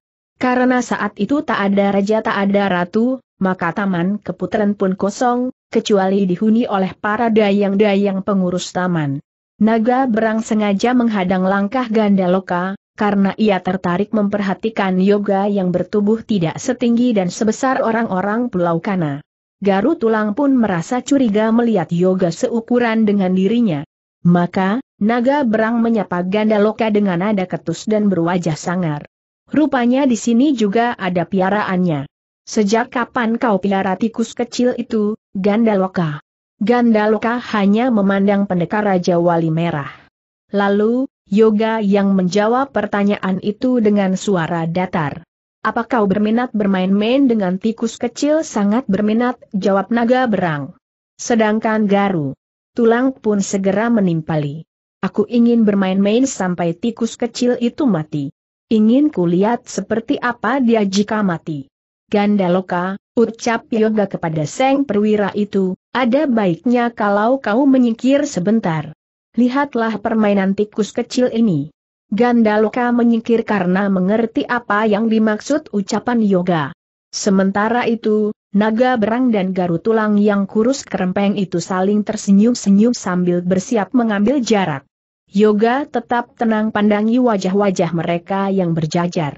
Tiba-tiba mata kedua orang itu berubah menjadi merah, lalu seberkas sinar melesat dari keempat mata itu, semuanya berwarna hijau bening. Empat larik sinar menghantam dada Yoga. Tetapi, Yoga diam saja dan membiarkan sinar hijau itu menghantam dadanya. Mestinya, dada itu akan hancur, atau bolong, atau setidaknya menjadi hangus.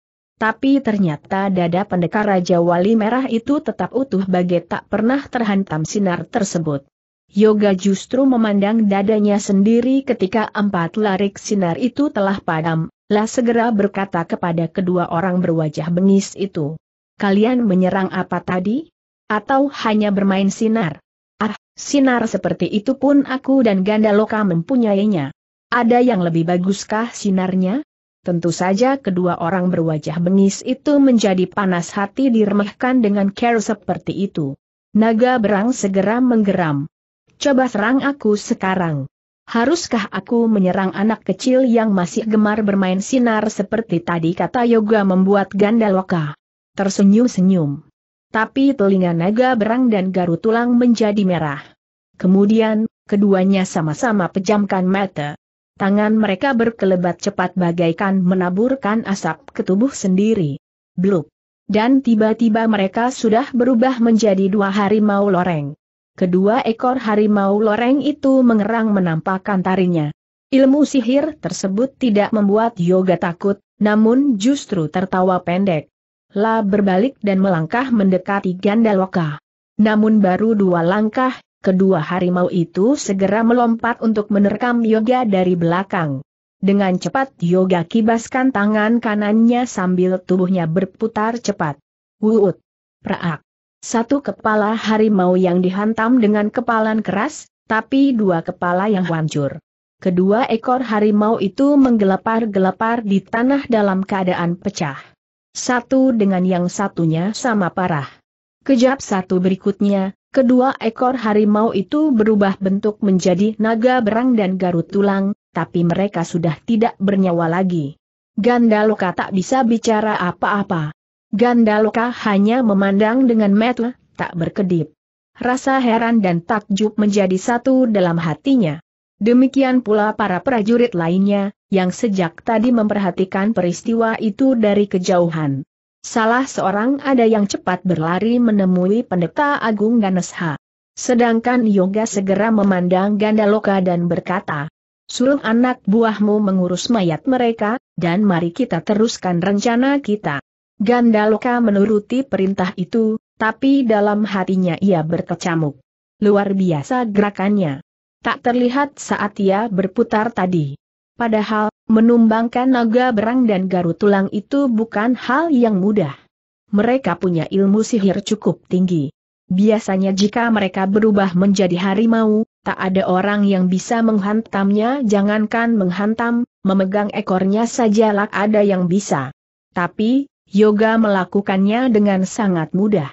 Di ruang berunding, prajurit yang tadi melihat kejadian tersebut memberanikan diri masuk dan menemui pendeta Agung Ganesha. Wajah prajurit itu menjadi tegang, sehingga para tetua yang hadir di situ menjadi tertarik dan memperhatikannya dengan dahi berkerut. Ada apa tanya pendeta Agung Ganesha? Tawanan kita itu. Pendekar Raja Wali Merah itu, telah membunuh Garu Tulang dan Naga Berang. Hah tanda seru mereka hampir serempak memekikan suara kaget yang sama. Bahkan sebagian sampai berdiri dari duduknya. Lalu, prajurit itu bercerita tentang apa yang ia lihat dari awal pertamanya.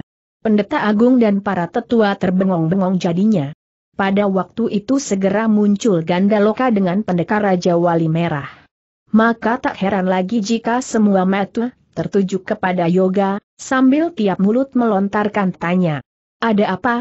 Apa yang terjadi? Mereka benar-benar mati. Hanya satu kali pukulan bisa membunuh dua nyawa. Apa benar begitu? Gandaloka yang segera menengahi suara-suara mereka setelah terlebih dulu menenangkannya.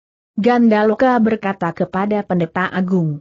Pendekar Raja Wali Merah telah kalahkan ilmu sihir naga berang dan garut tulang. Seperti apa kata saya kemarin, tak ada orang yang bisa tandingi Ratu Cendana Wangi selain pendekar Raja Wali Merah. Salah seorang tetua berkata dengan suara rentanya, kalau memang layak, biarlah dia menjadi panglima kita. Terlalu tinggi jabatan itu, Pak Tua, kata Yoga. Saya hanya akan bantu membebaskan rakyat Pulau Kana dari kejahatan Ratu Cendana Wangi, tanpa harapkan balas jasa apa pun kecuali dibebaskan dan jabatan sebagai tawanan. Oh, ya, dia tawanan kita kata salah seorang. Tapi orang tua yang tadi mencalonkan Yoga menjadi panglima itu berkata, tapi dalam kitab hukum adat ini, siapa pun bisa menjadi panglima jika menyelamatkan negeri dan rakyat Pulau Kana. Coba kau baca lembar tengah, bahwa siapa yang berjasa terhadap negeri dan rakyat Pulau Kana, dia berhak mendapat hadiah paling berharga dalam hidupnya, tapi bukan menjadi pemimpin negara. Yang bisa menjadi pemimpin negeri ini adalah orang yang ditunjuk oleh dewa melalui pendeta agung, dan orang yang dijadikan korban tanah persembahan namun bisa keluar dari tanah persembahan dalam keadaan hidup-hidup. Dan kalau tawanan atau calon korban bisa selamatkan negeri, ia bebas dari segala kutukan dan kesialan. Akhirnya, setelah melalui perdebatan, perundingan itu diputuskan oleh pendeta Agung Ganesha. Kita akan bebaskan pendekar Raja Wali Merah dari segala hukuman, tapi dia harus kalahkan Ratu Cendana Wangi. Semua mata memandang yoga, yang dipandang hanya tenang-tenang saja. Gandaloka segera bertanya kepada Yoga. Bagaimana, Yoga? Apakah kau sanggup memenuhi syarat itu? Tidak, jawab Yoga yang membuat semua mata yang memandang menjadi bengong. Yoga kembali berkata, Aku akan melawan Ratu Cendana Wangi untuk tegakkan kebenaran. Aku akan lawan dia karena dia orang sesat. Apakah nanti aku akan dibebaskan dari hukuman atau tidak, itu urusanku sendiri. Kalau perlu, aku akan memberontak dan memporak-porandakan pulau ini jika aku masih tetap akan dihukum seperti permintaan korban persembahan yang sebenarnya orang sesat juga itu. Yoga bicara dengan tegas. Para tetua, pendeta agung, Gandaloka, Tak ada yang berani bicara sepatah kata pun. Mereka bagaikan terkesima oleh ucapan yoga, sehingga pendekar Raja Wali Merah berkata, Temukan aku dengan Dantu Cendana Wangi sekarang juga. Pendeta Agung Ganesha mengangguk, Ganda Loka menjawab, akan kuantar kau kepadanya.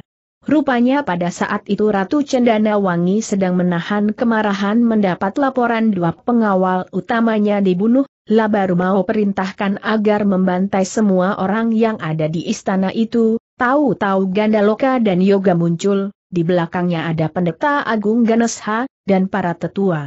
Ratu Cendana Wangi menjadi berang melihat kemunculan mereka, lalu berseru kepada pendeta Agung. Ganesha, dua orangku telah dibunuh. Aku akan menuntut balas membuat semua orang di istana ini mati, dan penduduk Pulau Kana menjadi buta seluruhnya. Tapi jika kau mampu serahkan orang yang telah bunuh kedua pengawalku itu, ku batalkan niatku tadi. Tiba-tiba Yoga berseru sambil melangkah lebih ke depan, aku yang membunuh kedua orangmu. Bangsat geram putra iblis dan segera menyerang Yoga. Tapi gerakan terhenti oleh tangan Ratu Cendana Wangi yang direntangkan. Perempuan itu pandangi Yoga dengan mata, tak berkedip. Semakin lama kemurungan wajahnya mengendur. Kian lama kemarahan hatinya kian teduh. Lalu, seulas senyum tipis mulai mekar di wajah Ayu itu. Benarkah kau yang telah melakukannya benar? Jawab Yoga. Kalau kau ingin balas, balaslah padaku. Mengapa aku harus membalasnya? Kematian mereka adalah kecerobohan diri mereka sendiri, itu tandanya mereka harus belajar lebih tekun lagi tentang ilmu-ilmu aliranku. HMMM Siapa namamu? Yoga. Apa jabatanmu di sini tawanan? Oh, kasihan sekali kau rupanya Ratu Cendana Wangi tertawa sambil berlagak manja, lah ingin mengusap pipi Yoga, namun oleh Yoga dihindari dengan menarik wajah ke belakang. Tawanan tampan, sungguh membuatku lebih bahagia jika tinggal di sini. Kau akan menjadi tawananku dan akan kujadikan pengawal pribadiku yang sangat pribadi, jika aku sudah berdiri sebagai ratu di sini, dan tiap jagat sakti sudah kudapatkan. Tidak ada kitab jagat sakti kata yoga dengan beraninya. Ratu Cendana Wangi jadi cemberut. Tahu apa kau tentang pulau Kana ini? Yang ku tahu, bebaskan rakyat negeri Lingga Praja ini. Tinggalkan pulau Kana, dan berdamailah dengan penduduknya. Ratu Cendana Wangi tertawa panjang. Kemudian ia berkata, Kau seperti pendeta agung itu, Yoga. Seharusnya kau tak bicara begitu di depanku. Ketahuilah, aku akan tinggalkan semua permintaanku setelah aku mati. Dan aku akan bebaskan penduduk Pulau Kana, jika mereka mau turuti permintaanku. Kumohon padamu, Ratu Cendana Wangi, tinggalkan pulau ini dan batalkan semua keinginanmu itu demi perdamaian. Tidak ada perdamaian bentak Ratu Cendana Wangi mulai murka. Bagaimana jika diganti dengan sesuatu yang lain? Aku mulai paham maksudmu, Yoga. Kau ingin menantangku buka pertarungan satu lawan satu, begitu?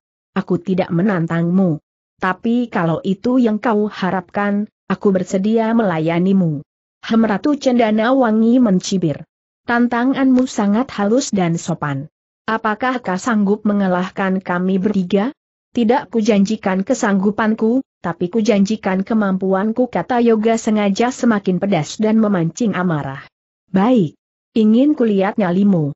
Kita buktikan omong besarmu itu di alun-alun. Sebaiknya berangkat sekarang juga, Ratu Cendana Wangi kalau kau kalah, ku bantai semua penduduk pulau Kana ini. Yoga menyahut, dan kalau aku menang semua orangmu harus angkat kaki dari pulau ini. Baik Ratu Cendana Wangi segera berseru kepada Putra Iblis dan Sawunggala, kita main-main di alun-alun sana. Tunjukkan kepada seluruh penduduk pulau ini tentang kehebatan kita. Mereka pun bergegas menuju ke alun-alun. Gandaloka sempat cemas dan memandangi Yoga. Tapi Yoga berkata, pancinganku kena sasaran. Hati-hatilah, Nasib penduduk pulau ini kini ada di tanganmu. Yoga hanya sunggingkan senyum dan berkata, sebentar lagi akan kembali ke tanganmu. 9. Wisnu Patra hampir patah semangat. Perjalanan yang sudah ditempuh memakan waktu cukup lama, tapi mereka tetap tidak temukan jalan keluar, La sempat berkata kepada pendekar Raja Wali Putih. Bagaimana kalau ternyata sumur perut setan ini memang tidak mempunyai jalan keluar? Pasti ada. Kita harus mencarinya terus sampai kapan saja kata Lili dengan penuh semangat. Sampai tuakah kita harus mencari dan tinggal di sini? Jika memang perlu begitu, apa boleh buat Lili angkat bahu. Kala itu mereka beristirahat, duduk di samping gundukan. Tanah cadas yang sudah dibuktikan benar-benar tanah cadas. Bukan makhluk seperti betara kala lagi. Wisnu Patra berkata lagi, kalau kita tak bisa keluar dari tempat ini, berarti kita kehilangan masa depan. Masa depan kita ya di tempat ini tanpa makanan dan minuman, kita tak pernah lapar dan haus setelah melewati tanaman biru tadi, bukan? Memang. Tapi apakah kita juga tidak ingin beranak cucu? Sedangkan kau punya hati untuk orang lain, bukan untukku. Kalau kita ditakdirkan harus berjodohan di sini dengan Care, tidak bisa keluar dari tempat ini, apa boleh buat? Kau mau beranak cucu di sini dengan berpasangan denganku? Kalau itu ku pandang perlu, tentu saja kuyakukan. Tapi sekarang, hal itu belum kupandang perlu kata Lili dengan enaknya. Wisnu Patra merenung membayangkan seandainya ia dan Lili akhirnya menjadi suami istri di tempat itu. Sekalipun dalam keadaan gersang dan tak pernah melihat matahari, tapi hati Wisnu Patra tetap akan senang serta bahagia menjadi suami gadis cantik menggemaskan hati itu. Sebenarnya masih banyak renungan indah yang sempat hinggap di benak Wisnu Patra. Tetapi agaknya ia harus putuskan renungan tersebut, karena matanya menangkap seberkas sinar pijar putih seperti perak berkilauan. Wisnu Patra memperhatikan dengan mata sedikit menyipit, karena sinar itu jauh dari tempat istirahatnya. Lalu ia berkata kepada Lili, Lihat, sinar apa itu yang putih seperti perak? Mana tanda seru? Di sebelah depan kita itu, dekat relung batu jajaran batu ini. Setelah menangkap cahaya perak kecil itu, pendekar Raja Wali Putih penasaran dan segera menghampirinya. Wisnu Patra pun bergegas mengikuti Lili di belakangnya. Gadis cantik itu melangkah tanpa ada rasa takut sedikit pun. Wisnu Patra sungguh memuji dan mengagumi keberanian pendekar Raja Wali Putih. Wisnu, Cahaya itu semakin besar dan bersinar terang kata Lili, kemudian ia berlari mendekati cahaya terang yang menyilaukan itu. Ternyata sebuah benda yang dikenal bentuknya oleh Lili. Sebuah kitab, Wisnu ucap Lili tegang. Memang sebuah kitab yang terletak di antara tulang-tulang berserakan. Cahaya kitab itu menjadi redup ketika didekati Lili dan diperiksa dengan kekuatan batinnya, bahwa kitab itu ternyata tidak beracun. Hanya saja, bentuknya besar, tidak seperti kitab biasa. Selain besar juga tebal, dilapisi sampul kain putih lapuk. Juga, dilapisi debu-debu tebal yang mengesankan bahwa kitab itu berusia sudah ratusan tahun. Bentuknya yang besar menandakan kitab itu milik seseorang bertubuh besar. Siapa lagi jika bukan Betara Kala? Sayangnya, Kitab itu menggunakan tulisan huruf sangkala, yaitu huruf kuno yang sudah banyak dilupakan orang. Wisnu Patra tidak bisa membaca tulisan dalam kitab tersebut. Bahkan gurunya sendiri tidak akan bisa membacanya. Tetapi Uli bisa membaca tulisan huruf sangkala, karena ia belajar dari gurunya, yaitu Dewi Langit Perak. Dewi Langit Perak belajar huruf sangkala dari suaminya, yaitu Dewa Gledek, guru dari Yoga, si pendekar Raja Wali Merah. Tentu saja Yoga juga bisa membaca tulisan huruf sangkala. Wisnu Patra tambah lagi kekagumannya kepada Lili, yang bisa membaca tulisan berusia ratusan bahkan ribuan tahun itu. Akhirnya, Wisnu Patra hanya bisa berharap dari Lili untuk mengetahui isi kitab tersebut. Kitab ini berisi jurus-jurus dahsyat milik Betara Kala, kata Lili saat menerjemahkan lembar pertama. Di sini juga tertulis riwayat singkat Betara Kala dan pernah berubah menjadi ksatria tampan satu kali selama hidupnya, lalu, lalu mempunyai istri seorang gadis yang dibuang di Pulau Kana yang bernama, bernama Dewi Ambar Ayu. Dan mereka beranak cucu. Pada saat mereka mempunyai cucu ke-10, pangeran tampan itu kembali berubah wujud menjadi raksasa dan istrinya mati dimakannya, lalu ia bersembunyi di dalam sumur perut setan. Lili berhenti membaca, memandang Wisnu Patra dan berkata, Berarti dia pernah ke Pulau Kana ribuan tahun yang lalu kalau begitu, pasti ada jalan keluar, yaitu jalan yang dipakainya masuk kemari itu. Benar. Coba ku baca lagi, Lili kembali membacanya. Lembaran yang terbuat dari kulit binatang itu dibuka lagi. Wah, dahsyat sekali ilmu-ilmu yang ada di sini. Ilmu apa saja? HMM, antara lain, ilmu sihir yang dinamakan kutuk iblis, ilmu menghisap kesaktian orang yang dinamakan ilmu simajati dan banyak lagi ilmu dahsyat di kitab ini. Aku ingin pelajari semuanya. Eh, HMMM, jalan keluarnya tadi bagaimana? Apakah disebutkan di kitab itu? Lili membaca sebentar, kemudian tampak ceria dan girang, ya, benar. Di sini ada petunjuk jalan keluar dari sumur perut setan.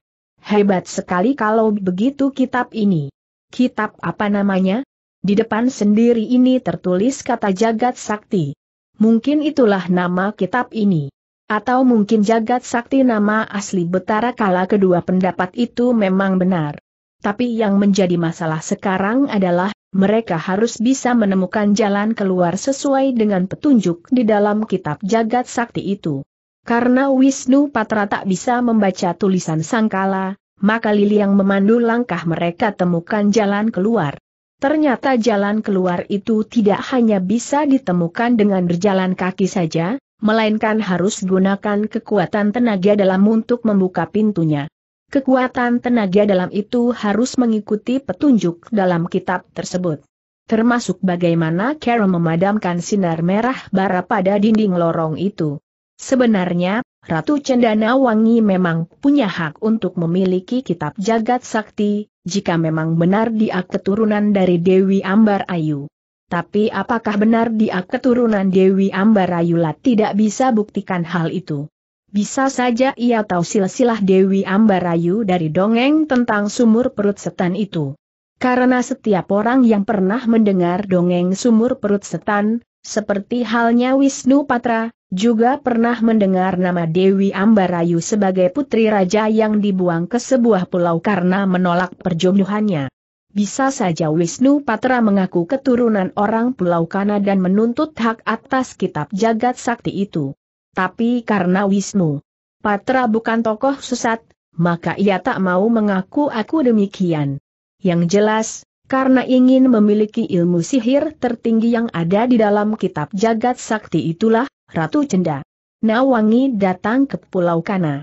Akibatnya ia terpaksa berhadapan dengan pendekar Raja Wali Merah.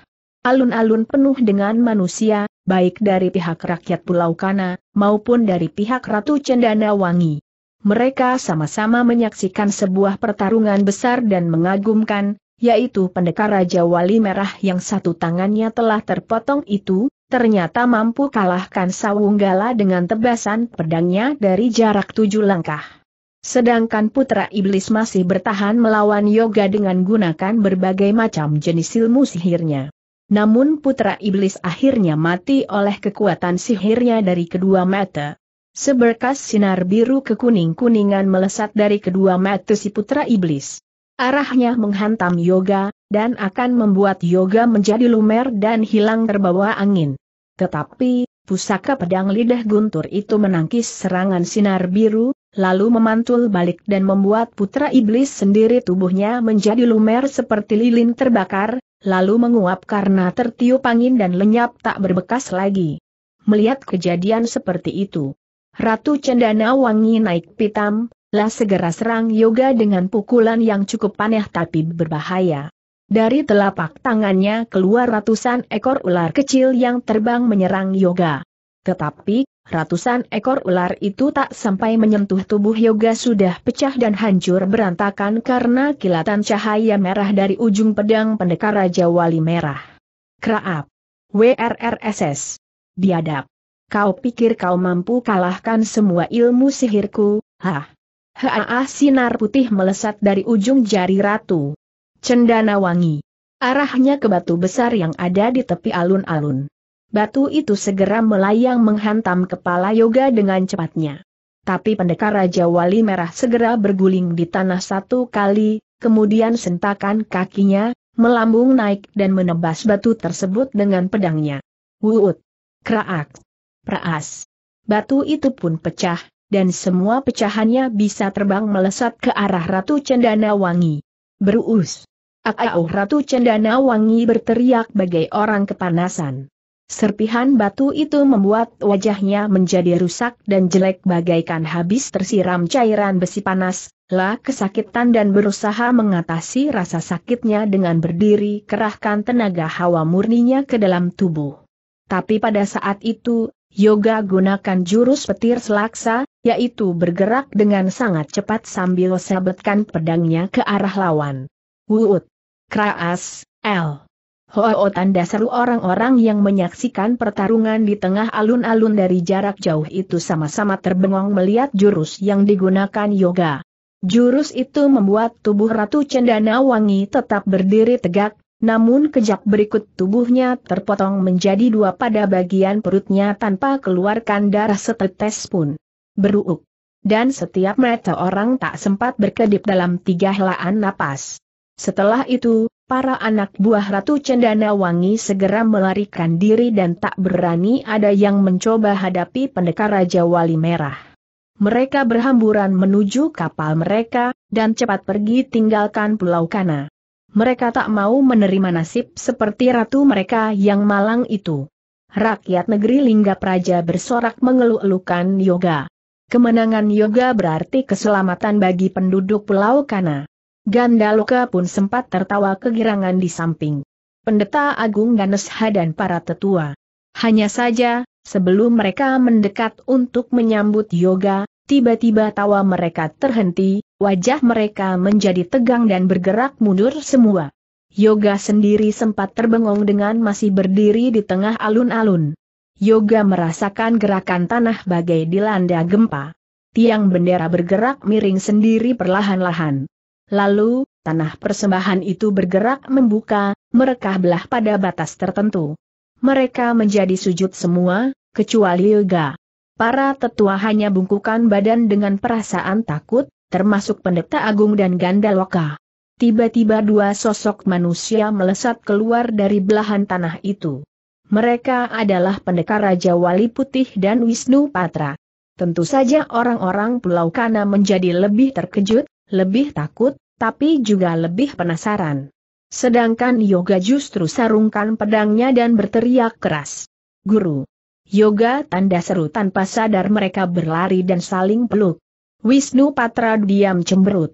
Gandaloka tak bisa berkedip karena ia kenal dengan kedua orang yang baru muncul dari dalam tanah persembahan. Ternyata Lili telah berhasil temukan jalan keluar dari sumur perut setan melalui petunjuk dalam kitab jagat sakti itu. Jalan keluar itu adalah tanah persembahan yang biasa dipakai untuk melemparkan mayat korban yang dianggap membawa kutukan, membawa kesialan, dan membawa bencana. Tanah persembahan itulah pintu keluar masuknya sumur perut setan. Tak ada penduduk Pulau Kana yang mengetahui hal itu, karena mereka menganggap sumur perut setan hanyalah dongeng anak-anak bersama tokoh pemakan manusianya, yaitu Betara Kala yang punya nama asli Jagat Sakti. Korban persembahan yang mereka masukkan ke dalam belahan tanah itu. Sesungguhnya sesaji makanan untuk Seng Betara Kala, tapi mereka pun tak mengerti makna persembahan tersebut. Mereka hanya mengikuti tradisi dan adat. Demikian juga adat dan tradisi mengatakan, orang yang muncul dari tanah persembahan berhak menjadi raja atau ratu bagi rakyat negeri Lingga Praja. Maka, mereka pun sepakat mengangkat Wisnu Patra dan Lili untuk menjadi raja. Tetapi tidak mungkin mereka mengangkat keduanya menjadi pemimpin negeri. Mereka harus memilih salah satu, atau keduanya menikah dan menjadi raja dan ratu. Kau saja yang menjadi raja mereka kata Lili kepada Wisnu Patra mereka menghendaki kita berdua. Tidak bisa. Itu berarti kita harus menikah, Apa salahnya? Besar sekali salahnya. Karena aku tak akan mau meninggalkan muridku, pendekar Raja Wali Merah jawab Lili dengan tegas. Dia masih bisa menjadi muridmu. Ya. Tapi jika kita menikah, dia tidak bisa jadi suamiku. Padahal dia adalah muridku, namun juga buah hatiku. Percakapan itu dipandangi Yoga dari kejauhan. Wajah Yoga bersungut-sungut. Lili segera berlari mendekatinya dan meraih tangan pendekar tampan itu, lalu berkata dengan senyum berlesung pipit. Kita pulang sekarang juga, aku mau pelajari kitab ini kau tak ingin menjadi ratu bagi mereka? Lili menggeleng. Aku hanya ingin menjadi ratu bagi dirimu. Kedua pendekar Raja Wali itu sama-sama tersenyum. Dunia menjadi indah rasanya. Wisnu Patra hanya tarik napas dan merelakan semuanya terjadi, termasuk rela dirinya diangkat menjadi raja bagi rakyat Pulau Kanalah harus segera mencari calon istri yang harus sudah dinikahi sebelum purnama tiba. Selesai.